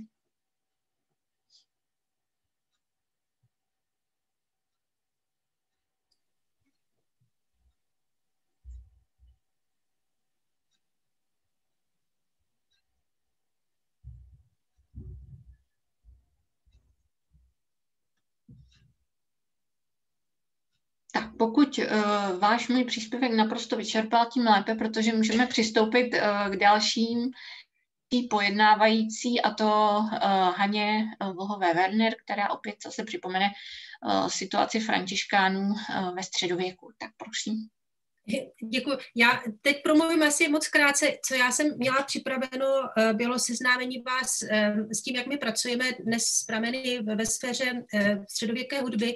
My s čím dál tím více se posouváme z fyzických knihoven do digitálních knihoven a jsme čím dál tím více také závislí na tím, jaká data se do těch popisů v digitálních knihovnách dostanou. Chtěla jsem ukázat i některé potíže, které při tom převedu dat nastávají, nové chyby, které vznikají a chtěla jsem stručně představit představit i databáze, se kterými my, my pracujeme, které jsou postavené nadnárodně ale já vidím, že čas nám hrozně pokročil, my jsme ve velkém skluzu. Tak se vám chtěla navrhnout, že bych eh, ty databáze zhrla potom do takového toho písemného zhrnutí, protože teď bych ráda, aby se dostali ke slovu ještě Marta Hradilová a podobně s knihovědou, což je v podstatě, bych řekla, jeden z nejdůležitějších projektů.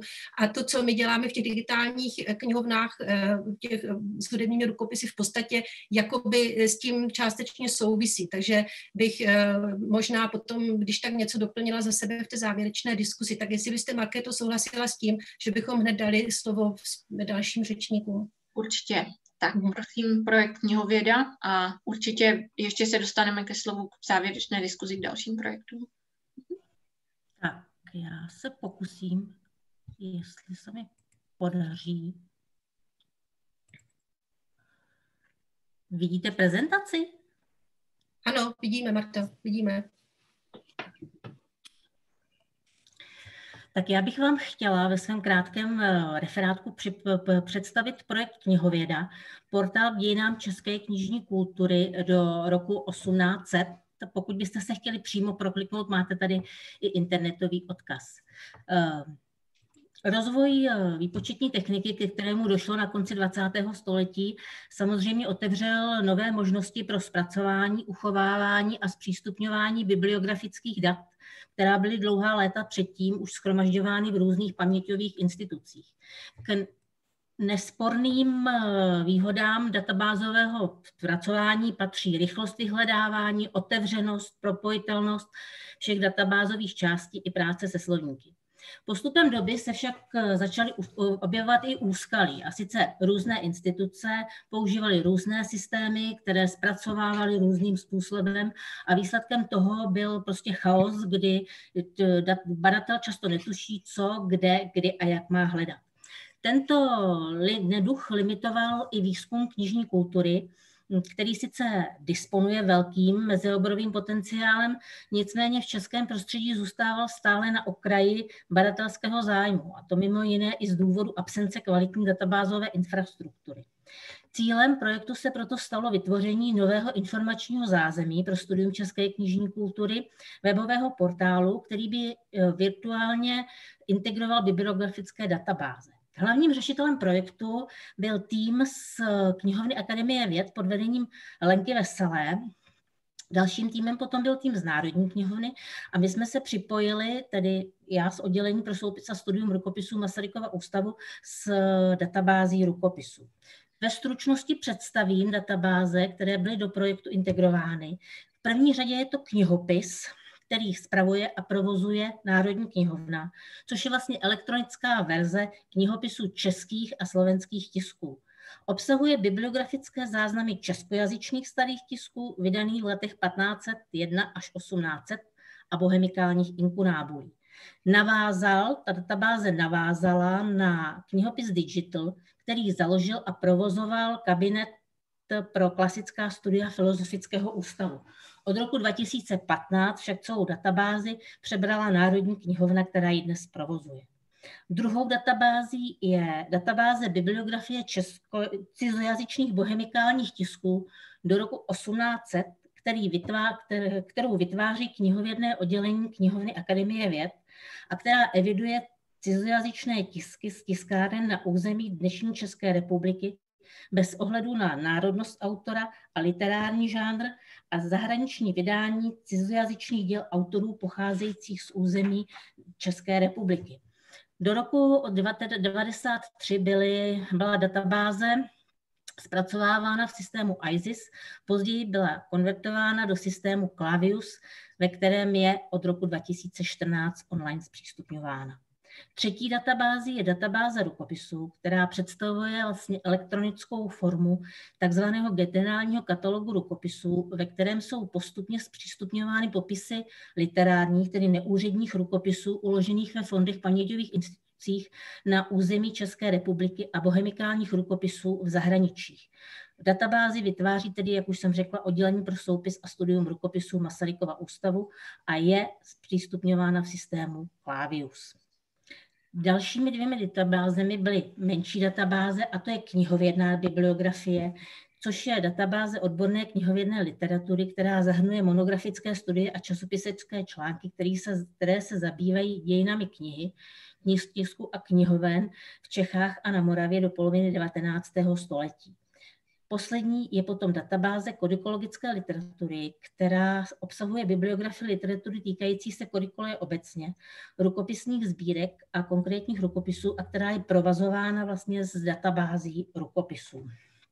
Co bylo třeba pro propojení všech databází eh, udělat? Za prvé muselo dojít k revizi a kompletaci dat jednotlivých databází. Nově byla vytvořena zohledněna obsahová a žánrová stránka evidovaných položek a byly přijaty autoritativní záznamy z databáze národních autorit Národní knihovny. Propojením jednotlivých databází do jednotného elektronického rozhraní umožňující vyhledávání z jednoho místa prostředním knihovního nástroje ViewFind Odpadla zejména v případě obou bibliografií tiskařské produkce nutnost separátního procházení jednotlivých fungujících databází. Databáze byly propojeny s dalšími částmi portálu a v neposlední řadě k ním byly, k jednotlivým záznamům byly připojovány digitální kopie.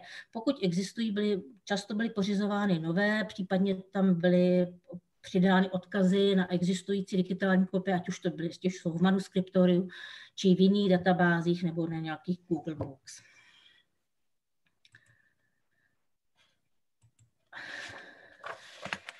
Zmínila jsem se o tom, že jednotlivé záznamy, tak aby byly eh, jednoduše prohledavatelné, byly opatřeny jednotlivými předmětovými a žánrovými hesly. Byl vytvořen jednotný heslář, který byla snaha, aby pokryl většinu těch tematických eh, oborů a žánrů, které se objevují jak té starší tiskařské produkci, tak rukopisné produkci. Eh, důležité bylo, aby ten heslář byl a jednota charakteristika těch jednotlivých eh, položek, co byla, byla co možná nejjednodušší, tak aby bylo, nedocházelo pochybnostem při jejich aplikaci k jednotlivým záznamům. Pokud se podíváme na portál, tak vyhledávání v databázích je možné jak eh, je možné jak z tohoto formuláře, tak už potom z podrobného formuláře, který, jak je u těchto databází samozřejmě zvykem, můžete vyhledávat jak ze, ze všech polích a pak se omezovat, pak omezovat tento dotaz vlastně z té roletky, která se vám otevírá po straně, kde si potom můžete samozřejmě nastavit eh, časový rozsah vydání, autora, název, místo vydání, tiskaře, rok, číslo záznamu a podobně.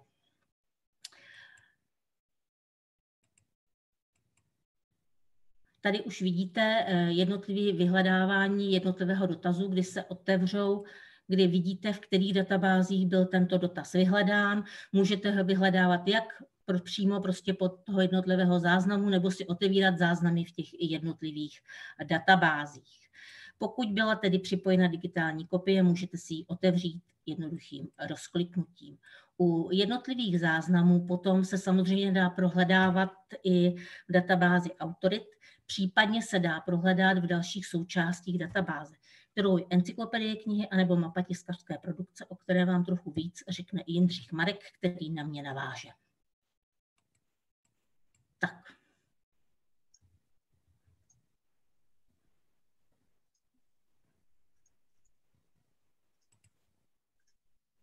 Dobrý den, eh, já jsem Jindřich Marek a v rámci projektu jsem vedl tým Národní knihovny, ale dnes už nemám s Národní knihovnou nic společného.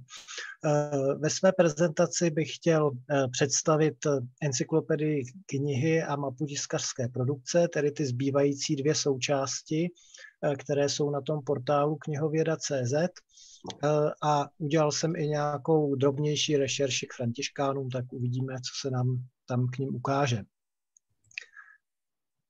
Tak, teď bych chtěl posunout políčko. Tak, tady vidíme eh, úvodní stránku encyklopedie, eh, která uvádí do problematiky. Pokud tu stránku neznáte, tak tam najdete základní informace. Vidíte, že je tam vyobrazení strojánské kroniky, tedy z tisku, který ještě eh, svojí vizuální podobou velmi připomíná rukopis, ale je to jeden z milníků, bychom řekli, eh, českého, počátku českého knihtiskařství.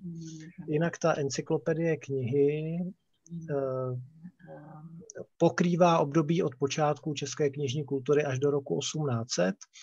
Určitě by bylo dobré, kdyby na nás navázali kolegové, kteří dělají 19. století a přidali třeba svůj obsah, aby ta encyklopedie zahrnula i to Eh, čtenářsky asi atraktivnější období.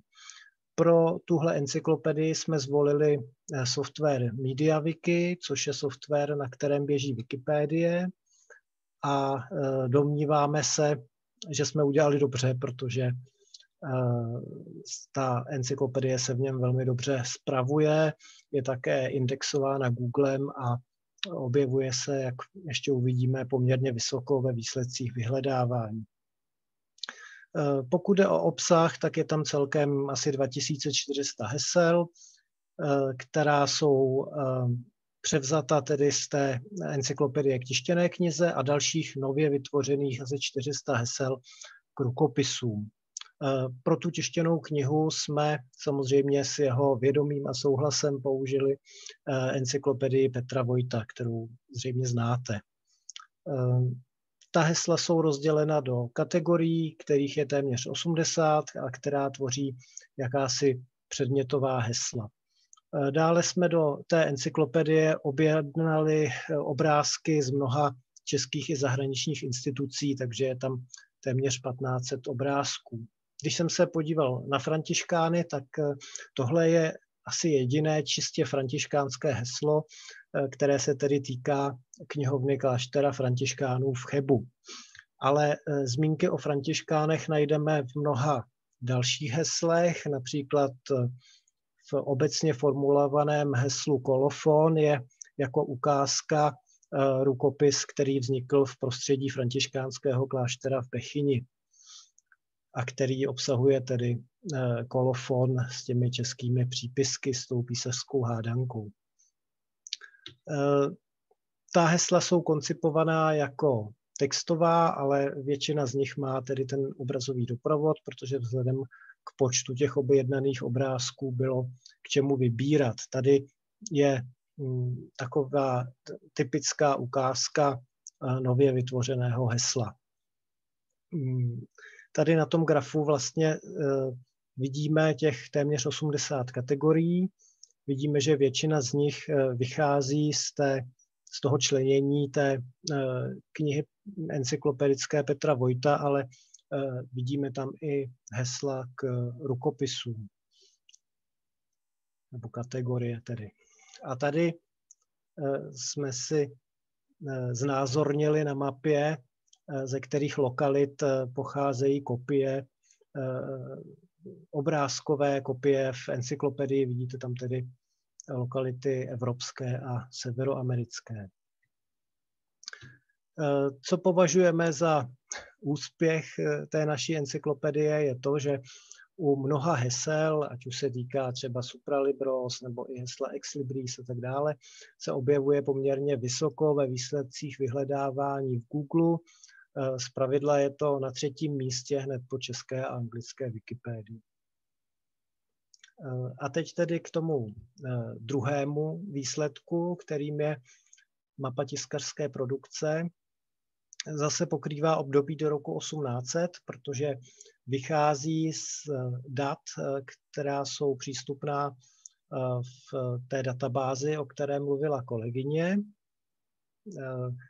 sestává ze tří hlavních částí. Napravo je eh, vyhledávací panel, kde lze do různých eh, okének eh, vkládat různé vyhledávací termíny. Pak je tady samotná mapa a dole je časová osa. Tyhle tři části jsou vzájemně interaktivní, to znamená, pokud se provede nějaká úprava, třeba vybrání nějakého časového období nebo nebo vyhledání nějakého termínu nebo vybrání nějaké lokality na mapě, tak se tomu eh, výběru vždycky přizpůsobí i ty dvě ostatní části. Eh, ta mapa představuje hlavně vizualizaci té veškeré tiskařské produkce, ať už českojazyčné nebo cizojazyčné do roku 1800. Eh, je postavená na datech o českém knihtisku, které pomáhá vědecky vyhodnotit, eh, naznačuje strukturu knižní produkce, eh, naznačuje, jaká byla eh, vydavatelská strategie jednotlivých tiskařů a jak ten knihtisk reagoval na historické změny. Pokud jde o software, tak tady jsme nemohli sáhnout po jednom hotovém softwaru, ale vlastně poskládali jsme tu mapu z různých knihoven a a e, komponent e, na bázi open source, takže je to vlastně, i, i to je originální řešení. E, jak už kolegyně, myslím, zmiňovala, tak ty jednotlivé části portálu jsou vzájemně propojené, takže z, takže z mapy je možné se dostat do encyklopedie, jednak tím způsobem, že se klikne na nějakou lokalitu a k ní se objeví tedy záznam z encyklopedie. Jak jsme se dozvěděli dneska od pana premiéra, tak CHEP je v Královéhradeckém kraji, Takže dostaneme se tedy nejen do encyklopedie, ale i do bibliografických databází. Ukáže nám to tedy počet záznamů. Je možné tedy pracovat i s časovou osou, zobrazit si třeba různé třeba básnické texty a kolik jich bylo tištěno ve kterých jazycích, případně vybrat nějaké kratší časové období a zobrazit si ty relevantní tisky. Samozřejmě těch možností, podle kterých je možné vyhledávat, tak je víc. Jsou to jména tiskařů, témata. Samozřejmě v tom jednom vyhledávacím poli těch témat může být i víc. Když nás zajímá i teologie, i homiletika, tak je možné je tam dát společně. Je možné sledovat tedy eh, vývojové trendy v jazykové skladbě, samozřejmě příznačně eh, eh, nárůst češtiny a tak dále. Nebo můžeme sledovat i to, jak často byly tištěné jednotlivé žánry v průběhu staletí porovnávat produkci různých tiskařů nebo, nebo mm, produkci v různých lokalitách z toho kvantitativního hlediska.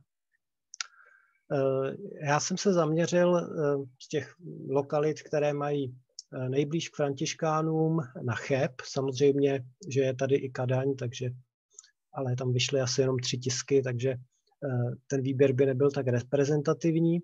A nechal jsem si zobrazit tedy Cheb a všechny náboženské texty, kázání a postily v období přibližně od roku 1680 do 1767, jak vidím. Jednak eh, už z toho grafu máme nějaké ponětí o, eh, o tom, kolik eh, té produkce bylo v tomhle období vytištěno a kdy. Ale když klikneme na, na, ten, na ten červený puntík u Chebu, tak se rovnou dostaneme i do databáze, která nám zobrazí záznamy k té tiskařské produkci, které vizualizuje ta mapa a rovnou s těmi filtry, které jsme si tam vybrali. Takže vidíte, že eh, v těch filtrech v tom pravém sloupci, těch tmavě červených, tak eh, máme ten chép, máme tam ty jednotlivé žánry a máme tam i ten rozsah těch dat eh, vydání. Takže vlastně z té vizuálně orientované rešerše se dostaneme přímo do té databáze. A potom, když si klikneme na druhý z těch záznamů, tak eh, vidíme, že skutečně je relevantní a eh, týká se eh, Kadaně a Františkánů. V zobrazení toho záznamu máme samozřejmě všechny bibliografické údaje, jsou tam i autority těch osob, respektive odkazy na ně a nejdůležitější je asi ten odkaz na tu bibliografii, to znamená to číslo BCBT, eh, ale vidíme tady i odkaz na Google Books a odkaz na naskenovaný lístek s velmi podrobným popisem, který teda v té elektronické verzi není zahrnutý. Takže to bylo všechno letem světem nad eh, našimi součástmi portálu knihověda.cz a ještě bych chtěl na závěr upozornit na eh, naší knihu, eh, která vyšla těsně před Vánoci. Nazývá se Knižní kultura českého středověku a snažili jsme se tam postihnout eh, českou knižní kulturu, včetně teda moravské a v nejnutnější míře i těch vedlejších zemí od jejich počátku až do roku 1500. A samozřejmě jsou tam i pasáže věnované Františkánům. Takže to je za mě všechno a děkuji vám za pozornost. Tak moc děkuji a poprosím o poslední dotazy před krátkou pauzou.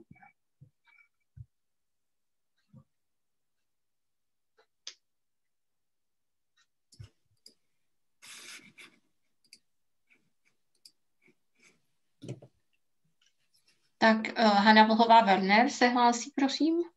Já mám úplně jenom eh, krátko, krátký dotaz a ono se to týká vlastně toho, s čím já se potýkám. Je to dotaz na oba, i na Martu Hradilovou, i na kolegu Marka.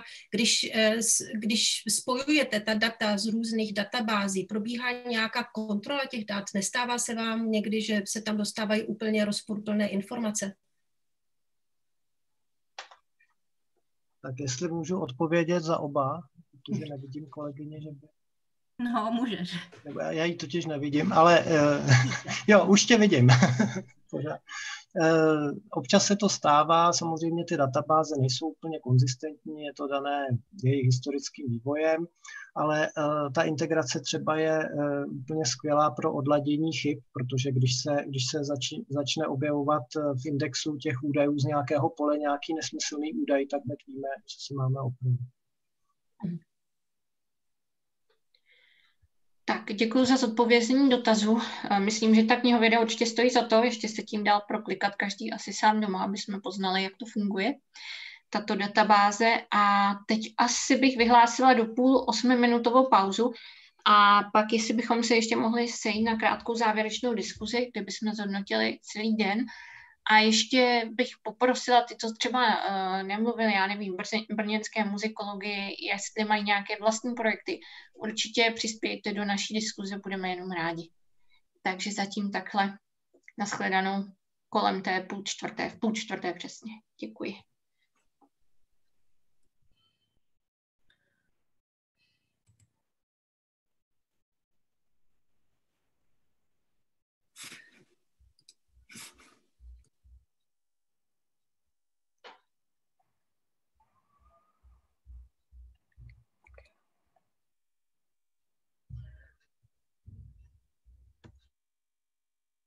Jo, ohlásí se paní Kateřina Bobková-Valentová, tak poprosím.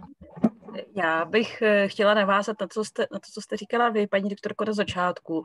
Eh, já si taky velmi uvědomuji, jak je důležitý eh, vlastně komunikovat o těch našich výzkumech a o těch našich představách, co to máme, i o těch prostě našich záměrech, poněvadž pro mě je taky vždycky obohacující slyšet vlastně ty přístupy z jiných disciplín. A jestli jste třeba byla na pochybách, že vy jako muzikologové nám můžete jako historikům něco, něco dát, tak určitě nemusíte být na pochybách, protože eh, pro nás jsou veškeré záznamy o hudbě vlastně strašně bez vaší pomoci strašně špatně čitelné, protože my vlastně nejsme schopni rozlišit bez toho, aniž třeba s vámi mluvíme, to jsou akce uh, mimořádné, co nejsou, vlastně, vlastně vůbec ty informace neumíme číst a neumíme je jako pořádně zpracovávat, takže pro nás vlastně ta komunikace s těma s vámi jako muzikologie je, je hrozně důležitá. Takže děkujeme že jsme mohli prostě takhle být i, i v tom všem tom. A ještě teda bych eh, chtěla jednu věc, když mluvila Linka Veselá o těch knihách a o té komunikaci a vlastně svým způsobem uh, mě to napadlo už při příspěvku Víta Schombrennera.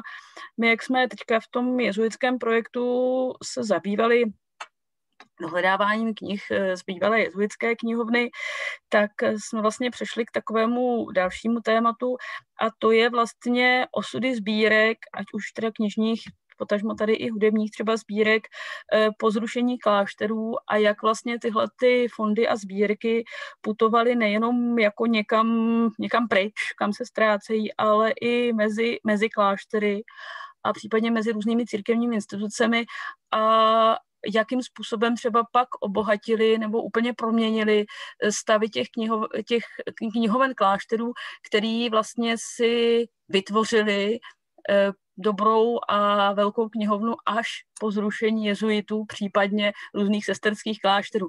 Já tady narážím na zkušenost s Novořížskou knihovnou, která v podstatě v té podobě, jak dneska je, vznikla na popelu řádových knihoven, nejenom jezuitské, ale celé řady dalších. Tak mě právě tohleto se, i to, jestli to jako takovýhle fenomen se může objevovat u těch hudebních sbírek, nebo jak moc je tohleto zmapované a tak. tak to mě taky zajímá. Tak teda to zatím musím říct, jsem moc uh, se s tím jakoby nesetkala, no. Ale nevím, jak ostatní muzikologové, ano. Uh, doktor Aschenbrenner? Jsem měla zareagovat těch nešťastných 22 jezuitik, která uh, jsou dochována v Platovech, tak byla manipulována zjevně do farního komplexu. Nicméně zdá se na základě různých přípisů, že to nemuselo být nutně hned v roce 1773, ale až třeba o nějakých 10-15 let později. Eh, jsou tam vlastně záznamy až eh, dalšího Regenského, který tam působil později. Eh, zároveň jsem objevil nějaká kladovská jezuitika, bohužel až povídání oné knihy, třeba v Kaštelských horách. Úplně jasně klatovienzium, stejný, stejný jména, stejný podpisy, stejný ruce. Takže jak se to tam vzalo, jako víme, že kašpersko-horští měli rádi klatovskou panenku Marii, mají tam kapličku a do celkem byli agilní jaksi ctitelé a, a poutníci. Možná takto a tak dále. Čili vlastně budou taková různá, jakoby, to poběrkování se asi patrně bude, bude objevovat. Otázka, jestli, když to nejsou zrovna knížky, ty hudební jsou ještě brutálnější, si myslím, v tomhle směru, co do jejich mobility. Uh, jestli vůbec jako je šance nějak to, nějak to systémově uchopit, protože vlastně kdybych se rozhodl, že budu chtít hledat klatovská hudební zvytíka, tak nevím, co bych dělal, jako do které knihovny bych šel, co, jestli mám projít všechny vlastně uh, sety uh, v českých zemích nebo ještě v Rakousku, netuším. Jo? Tohle jsou spíš takové náhodné nálezy, nicméně i ty dokládají to, že, že ty hudebniny se, že ten pohyb neustál.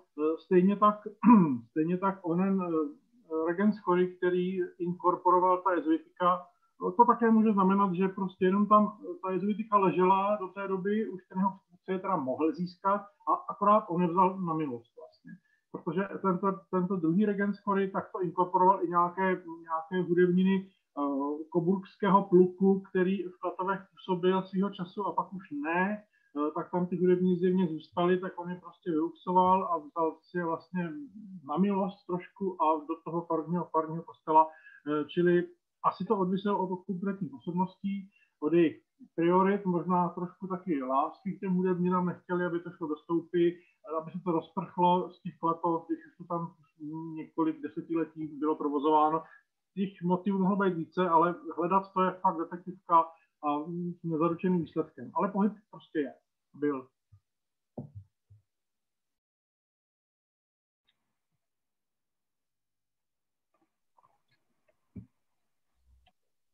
Tak děkuji Vítu Aschenbrennerovi. Já jenom můžu říct, jak jsem se zabývala hm, teď krátce těmi cesterci a těch středověkými rukopisy, tak tam samozřejmě uh, většina z nich po zrušení konventů skončila uh, v Národní knihovně. No. To je takový hlavní centralizační fond. No. Mhm.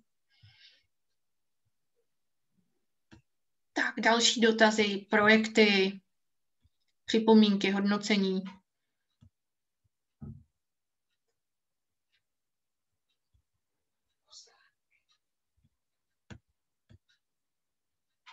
Nebo třeba i pozvánky na uh, různé akce. Tady vím, že právě o těch zrušených klášterech bude uh, konference někdy teď v první polovině tohoto roku?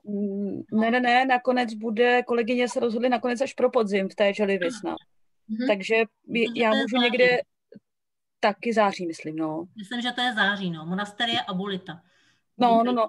Já bych někde měla mít jak byla ta jedna jediná konference, co se uskutečnila v prosinci v Broumově, co měli kolegyně právě z toho Broumovsko, uh, Broumovského projektu, tak to tam právě říkali, no, těch, těch, těch. Já se pokusím, jestli někde najdu v mailu, že bych to když tak vložila do chatu, odkaz na to. Jo, jo, už to tam je. Už to tam měl pan doktor Maňas. Ano, fajn tak dokonce v říjnu.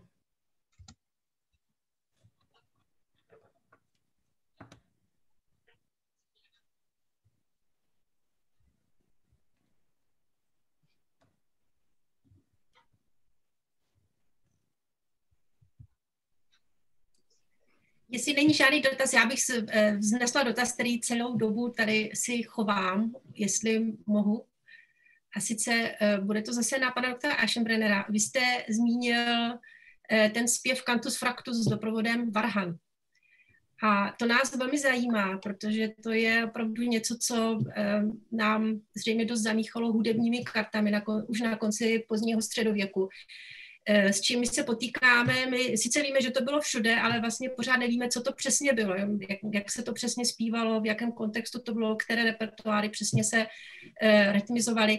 Já se vás chci zeptat, jak to vypadá v té pozdní tradici. Vy jste říkal, že to je vždycky s doprovodem varhan a že jsou to melodie, které mají, eh, nemají žádné velké skoky, mají sekundové, eh, sekundové postupy. Znamená to, že to jsou nově složené melodie, nebo jsou to eh, chorální melodie a když mluvíme teda o těch rytmických vzorcích, my v, tom, v té velké celoevropské tradici kantu fraktu máme v podstatě takové dvě tendence.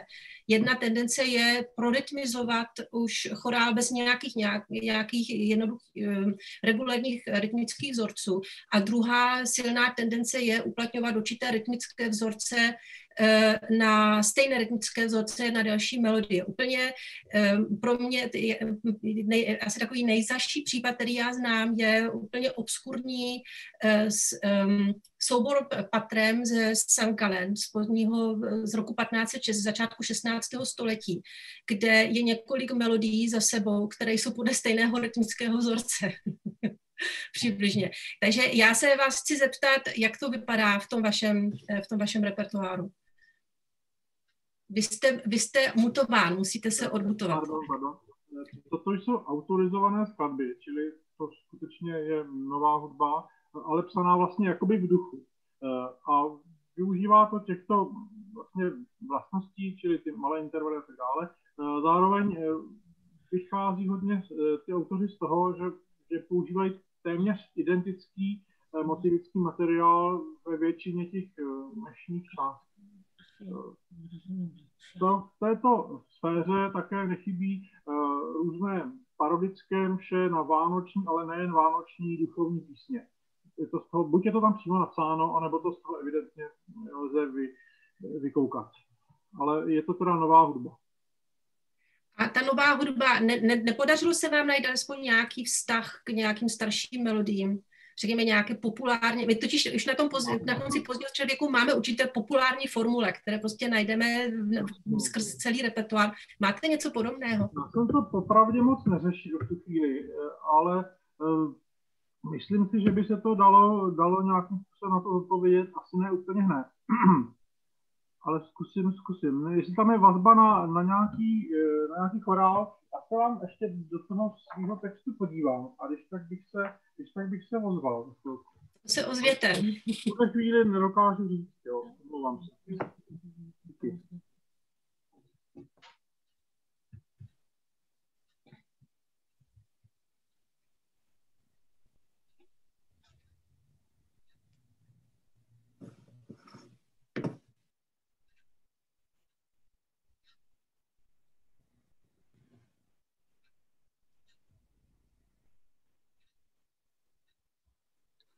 Tak.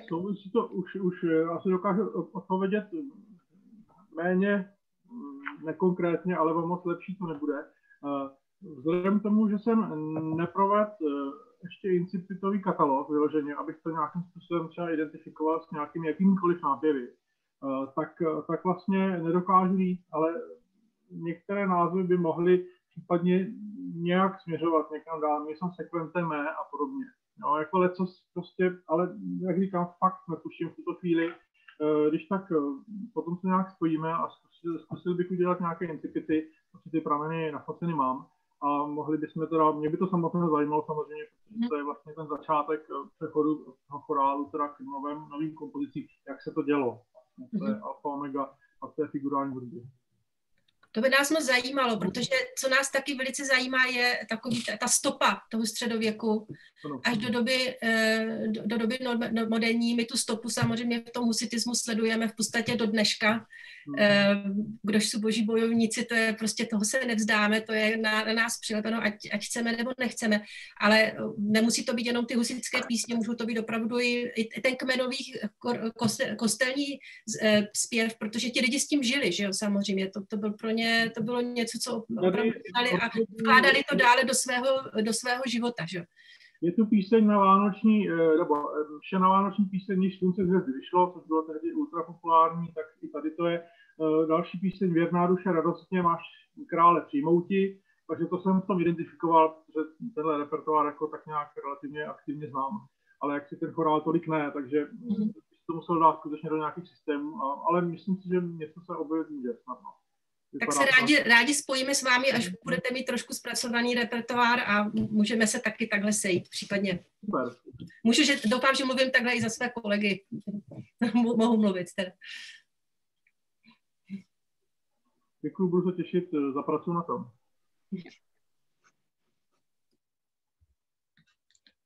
Jestli tedy ještě můžu v deseti minutách se zeptat, uh, projekt Knihověda Marty Hradilové, mě už jste se teda trošku ptala na jejich workshopu, ale zeptám se ještě teď, uh, jestli je možné, aby jsme se nějak my muzikologové zapojili třeba uh, do vašeho projektu, jestli je možné tam zadávat jako do řeholníku další odkazy nebo další díla, další položky.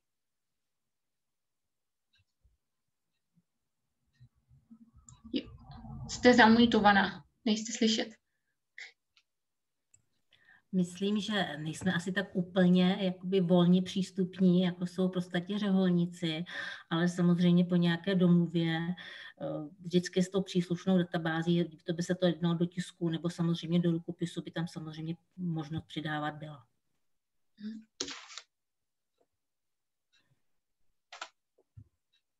Jo, Vladimír Maďa se hlásí, prosím v reakci tady na tento dotaz na knihovědu, já bych si dovolil jenom moc poděkovat za to, že vlastně tady tento projekt existuje a že byl rozšířen o ten modul rukopisné knihy. A myslím si, že i pro muzikologii je naprosto zásadní, že ta hesla, která se týkají zejména liturgických knih, stala také muzikoložka. To znamená, tam je opravdu, co je podstatné, že na jednotlivé liturgické knihy je nahlíženo i z této perspektivy a domnívám se, že vlastně i ta liturgika jako taková která by měla být, eh, nebo ta liturgika by měla být vlastně jako si spojující platformou pro, tom, eh, pro nás badatele v těch historiografických oborech, respektive mezi muzikologií, historií a dalšími, protože eh, v některých případech ty proměny z hlediska liturgie, zejména v rámci jednohlasého repertoáru, se odehrávají podstatně pomaleji, že, než v případě třeba lit, eh, repertoáru litur, eh, vícehlasého, toho figurálního. Tady navazuju na dotazy nebo na poznámky paní docentky uh, Hany Brhové Werner uh, v souvislosti s používáním, vlastně s otázkou délky používání těch jednotlivých rukopisů, třeba i středověkého původu. Uh, neměl jsem možnost se podívat na ten zmíněný, zatím jsem nestudoval ten zmíněný uh, graduál františkánský z Národní knihovny, ale přece jenom do budoucna je to jedno z takových obecných témat, desiderát, obecně u eh, třeba pozdně středověkých rukopisů vzhledem k eh, množství eh, raně novověkých přípisů. Do četu jsem dával jenom malý odkaz na v souvislosti se zmínkou pana doktora Bajgera o bechínském graduálu. Tam jde o poměrně dosti ojedinělou situaci ve smyslu doložení, protože ten graduál se dostal, tuším, i se smíškovským graduálem jako dar od Petra Voka do ambraské sbírky. Eh, což je v literatuře relativně známá záležitost, ale z hlediska muzikologického přeci jenom je to prostě poměrně dost zase pro srovnání eh, poměrně zajímavý faktor v tom smyslu, že tedy to eh, z hlediska použití, kde můžeme hovořit nebo uvažovat o nějaký, dejme tomu 60-70 letech toho reálného užívání v liturgii maximálně. A to potom, když třeba nahlížíme na jednotlivé fondy knižní, uh, typicky já svatojakubská farní knihovna, dostávám se mimo území Františkánu, pardon, tak uh, myslím si, že i ten průzkum uh, toho fondu jako celku může být klíčový z hlediska toho postupného nahrazování, ku příkladu tištěných liturgických příruček, které tedy ty mladší tištěné nahrazují Eh, ty eh, rukopisné, paní doktorka Veselovská zmiňovala tady právě výzkum fragmentu. Ono to právě i souvisí s tím postupným převrstvováním toho fondu a myslím si, že eh, liturgické příručky v tomto hrají velmi klíčovou roli i z hlediska těch různých vrstev a z hlediska vlastně jejich primárního užití.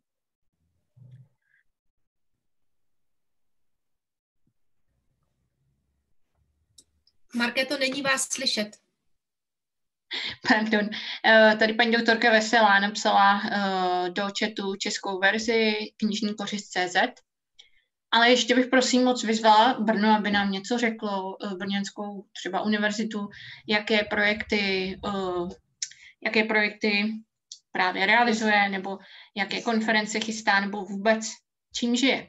Zda můžu poprosit pana doktora Maňase nebo paní profesorku Perutkovou. Protože musím říct, že i mezi námi muzikology uh, existují takové možná komunikační šumy, že co je v Brně třeba já sama moc nevím, tak bych se to, uh, tak bych ráda o tom um, tady na té uh, platformě se více dozvěděla, pokud můžu.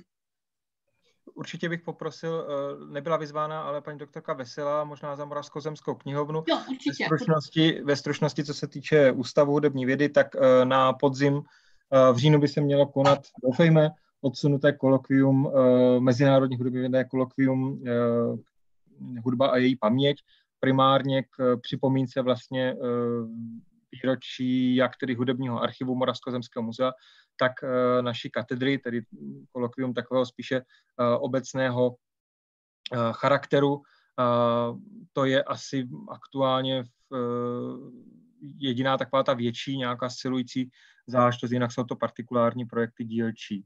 Nevím, Ireno, jestli já teď nemám, nemám aktuální přehled, co, co se děje u vás, nebo plánujete spíš, uh, ale protože pro, nem, ještě, si, ještě máš vypnutý zvuk. Tak, no, uh, tak co se, co se týče klášterů nebo řádu, tak my jsme s kolegou Pavlem Žurkem uh, před vlastně rokem a půl dokončili a vydali knihu o Rajhradě, Eh, rajhradské hudební kultuře v 18. století se zaměřením na Maura Haberhauera. Máme tam jeho tematický katalog. Takže eh, každopádně výzkum Rajhradu pokračuje dál, eh, plus tedy ještě s tím, s tím spojený výzkum brněnských augustiniánů.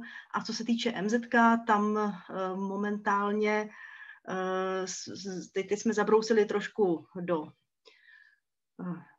novějších dob k Bohuslavu Martinu, protože měl výročí a zase Moravská zemská knihovna je spojena právě i jako personálně prostřednictvím Zdeňka Zouhara, mého předchůdce s Bohuslavem Martinu a se světovými premiérami jeho děl, takže to je trošku mimo, mimo téma. A letos bychom si chtěli připomenout nedožité devadesátiny profesora Rudolfa Pečmana, brněnského tady e, profesora, pedagoga, Eh, hudebního kritika, takže formou výstavy, která tedy doufám, doufám bude zpřístupněna veřejnosti, bude určitě katalog. Takže, takže to je tak asi z těch, z těch našich projektů. Tak. Každopádně Irenina poznámka mne ještě nutí samozřejmě na to, co jsem zapomněl. Uh, za chvíli 15. února oslaví 90 uh, let pan profesor Sehnal, tak samozřejmě původně v plánu byly i poměrně velké oslavy, to vše je nyní odsunuto. Nevíme, jak toto bude vypadat, ale mm, doufám, že eh, se na mě nebude zlobit, když řeknu, že se těší velmi dobrému duševnímu i eh, eh, fyzickému zdraví a s chutí s ním stále konzultujeme všechny naše projekty. Pořád má smysl vždycky, myslím, i právě se odvíjet od, jak už tady zaznělo několikrát, od výzkumu jak Jiřího Sehnala, tak Ladislava Kačice právě pro tu františkánskou a kulturu a vlastně i tu strukturu další, kterou je zapotřebí zde nějak mít na paměti, jak tedy chronologickou nebo zhruba z hlediska proměn jednotlivých provincií a řeholí. Toto, toto se přiznám, že mi dneska trošku chybělo jakoby nějaká přesnější struktura z hlediska především prezentace té, muziko, to, té části muzikologického výzkumu, protože opravdu, když vezmeme si třeba tu sehnalovou studii z mm, časopisu Moravského muzea, tak ta je velmi přehledně strukturovaná a v podstatě i ten další výzkum by měl vždycky stavět na tom, co vybádal profesor Sehnal v případě nejen Moravy, ale z části i českých konventů, nebo třeba na samozřejmě výzkum docenta Horiny, co se týče vlastních mhm. jižních Čech. To tady podle mě nezaznělo dostatečně důrazně. A možná by nás to potom i zrychlilo trošku v té další diskuzi. No. Dobře, tak děkuji za připomínky určitě cené a děkuji taky za popsání situace v Brně. Eh, myslím, že na webových stránkách asi vašich se dozvíme vždycky, co je aktuální.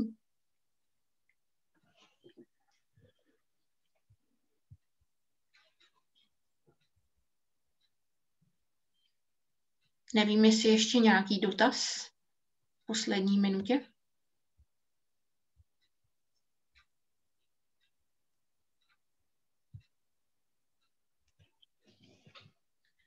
Tak pokud nic dalšího není, tak bych závěrem řekla, teda samozřejmě děkuji všem za účast, za referáty uh, pro mě opravdu velmi přínosné, to už jsem říkala na začátku. A uh, taková reflexe nebo takové shrnutí tohoto setkání by mělo být časem na našich stránkách Staré mýty nová fakta smnf.cz. Pak nahrávka tohoto setkání, pokud správně tomu rozumím, by měla být umístěna na YouTube, na našem kanálu také SMNF. Jestli paní docentka Vlhová Werner souhlasí, že je to tak? Jo, ano, ano, je to, um, doufám, že se nám to všechno podaří uložit. Ještě to není všechno za námi, ono až teprve, když se vylogujeme ze Zoomu, tak teprve pak to začne ukládat. To je ten kritický moment, kdy nesmí ani pršet, ani moc svítit slunce a pak se to podaří, tak nám držte palce. Pak teda, až to bude hotové, tak samozřejmě všem účastníkům i referujícím pošlu link, abyste se na to mohli případně podívat. Takže všem děkuji asi tímto. V 16 hodin přesně končíme, mám radost, že to tak hezky vyšlo a přeji všem hodně badatelských úspěchů, zdraví a ať se vám všem prostě daří. Naschledanou. Jestli chce se mnou zmít s námi ještě někdo povídat, já tady chvilku zůstanu ještě, takže naschledanou všem a jestli chce někdo zůstat, tak jsem tady ještě. A nenahrává se to. Ještě jo. ne, ale ne moje už.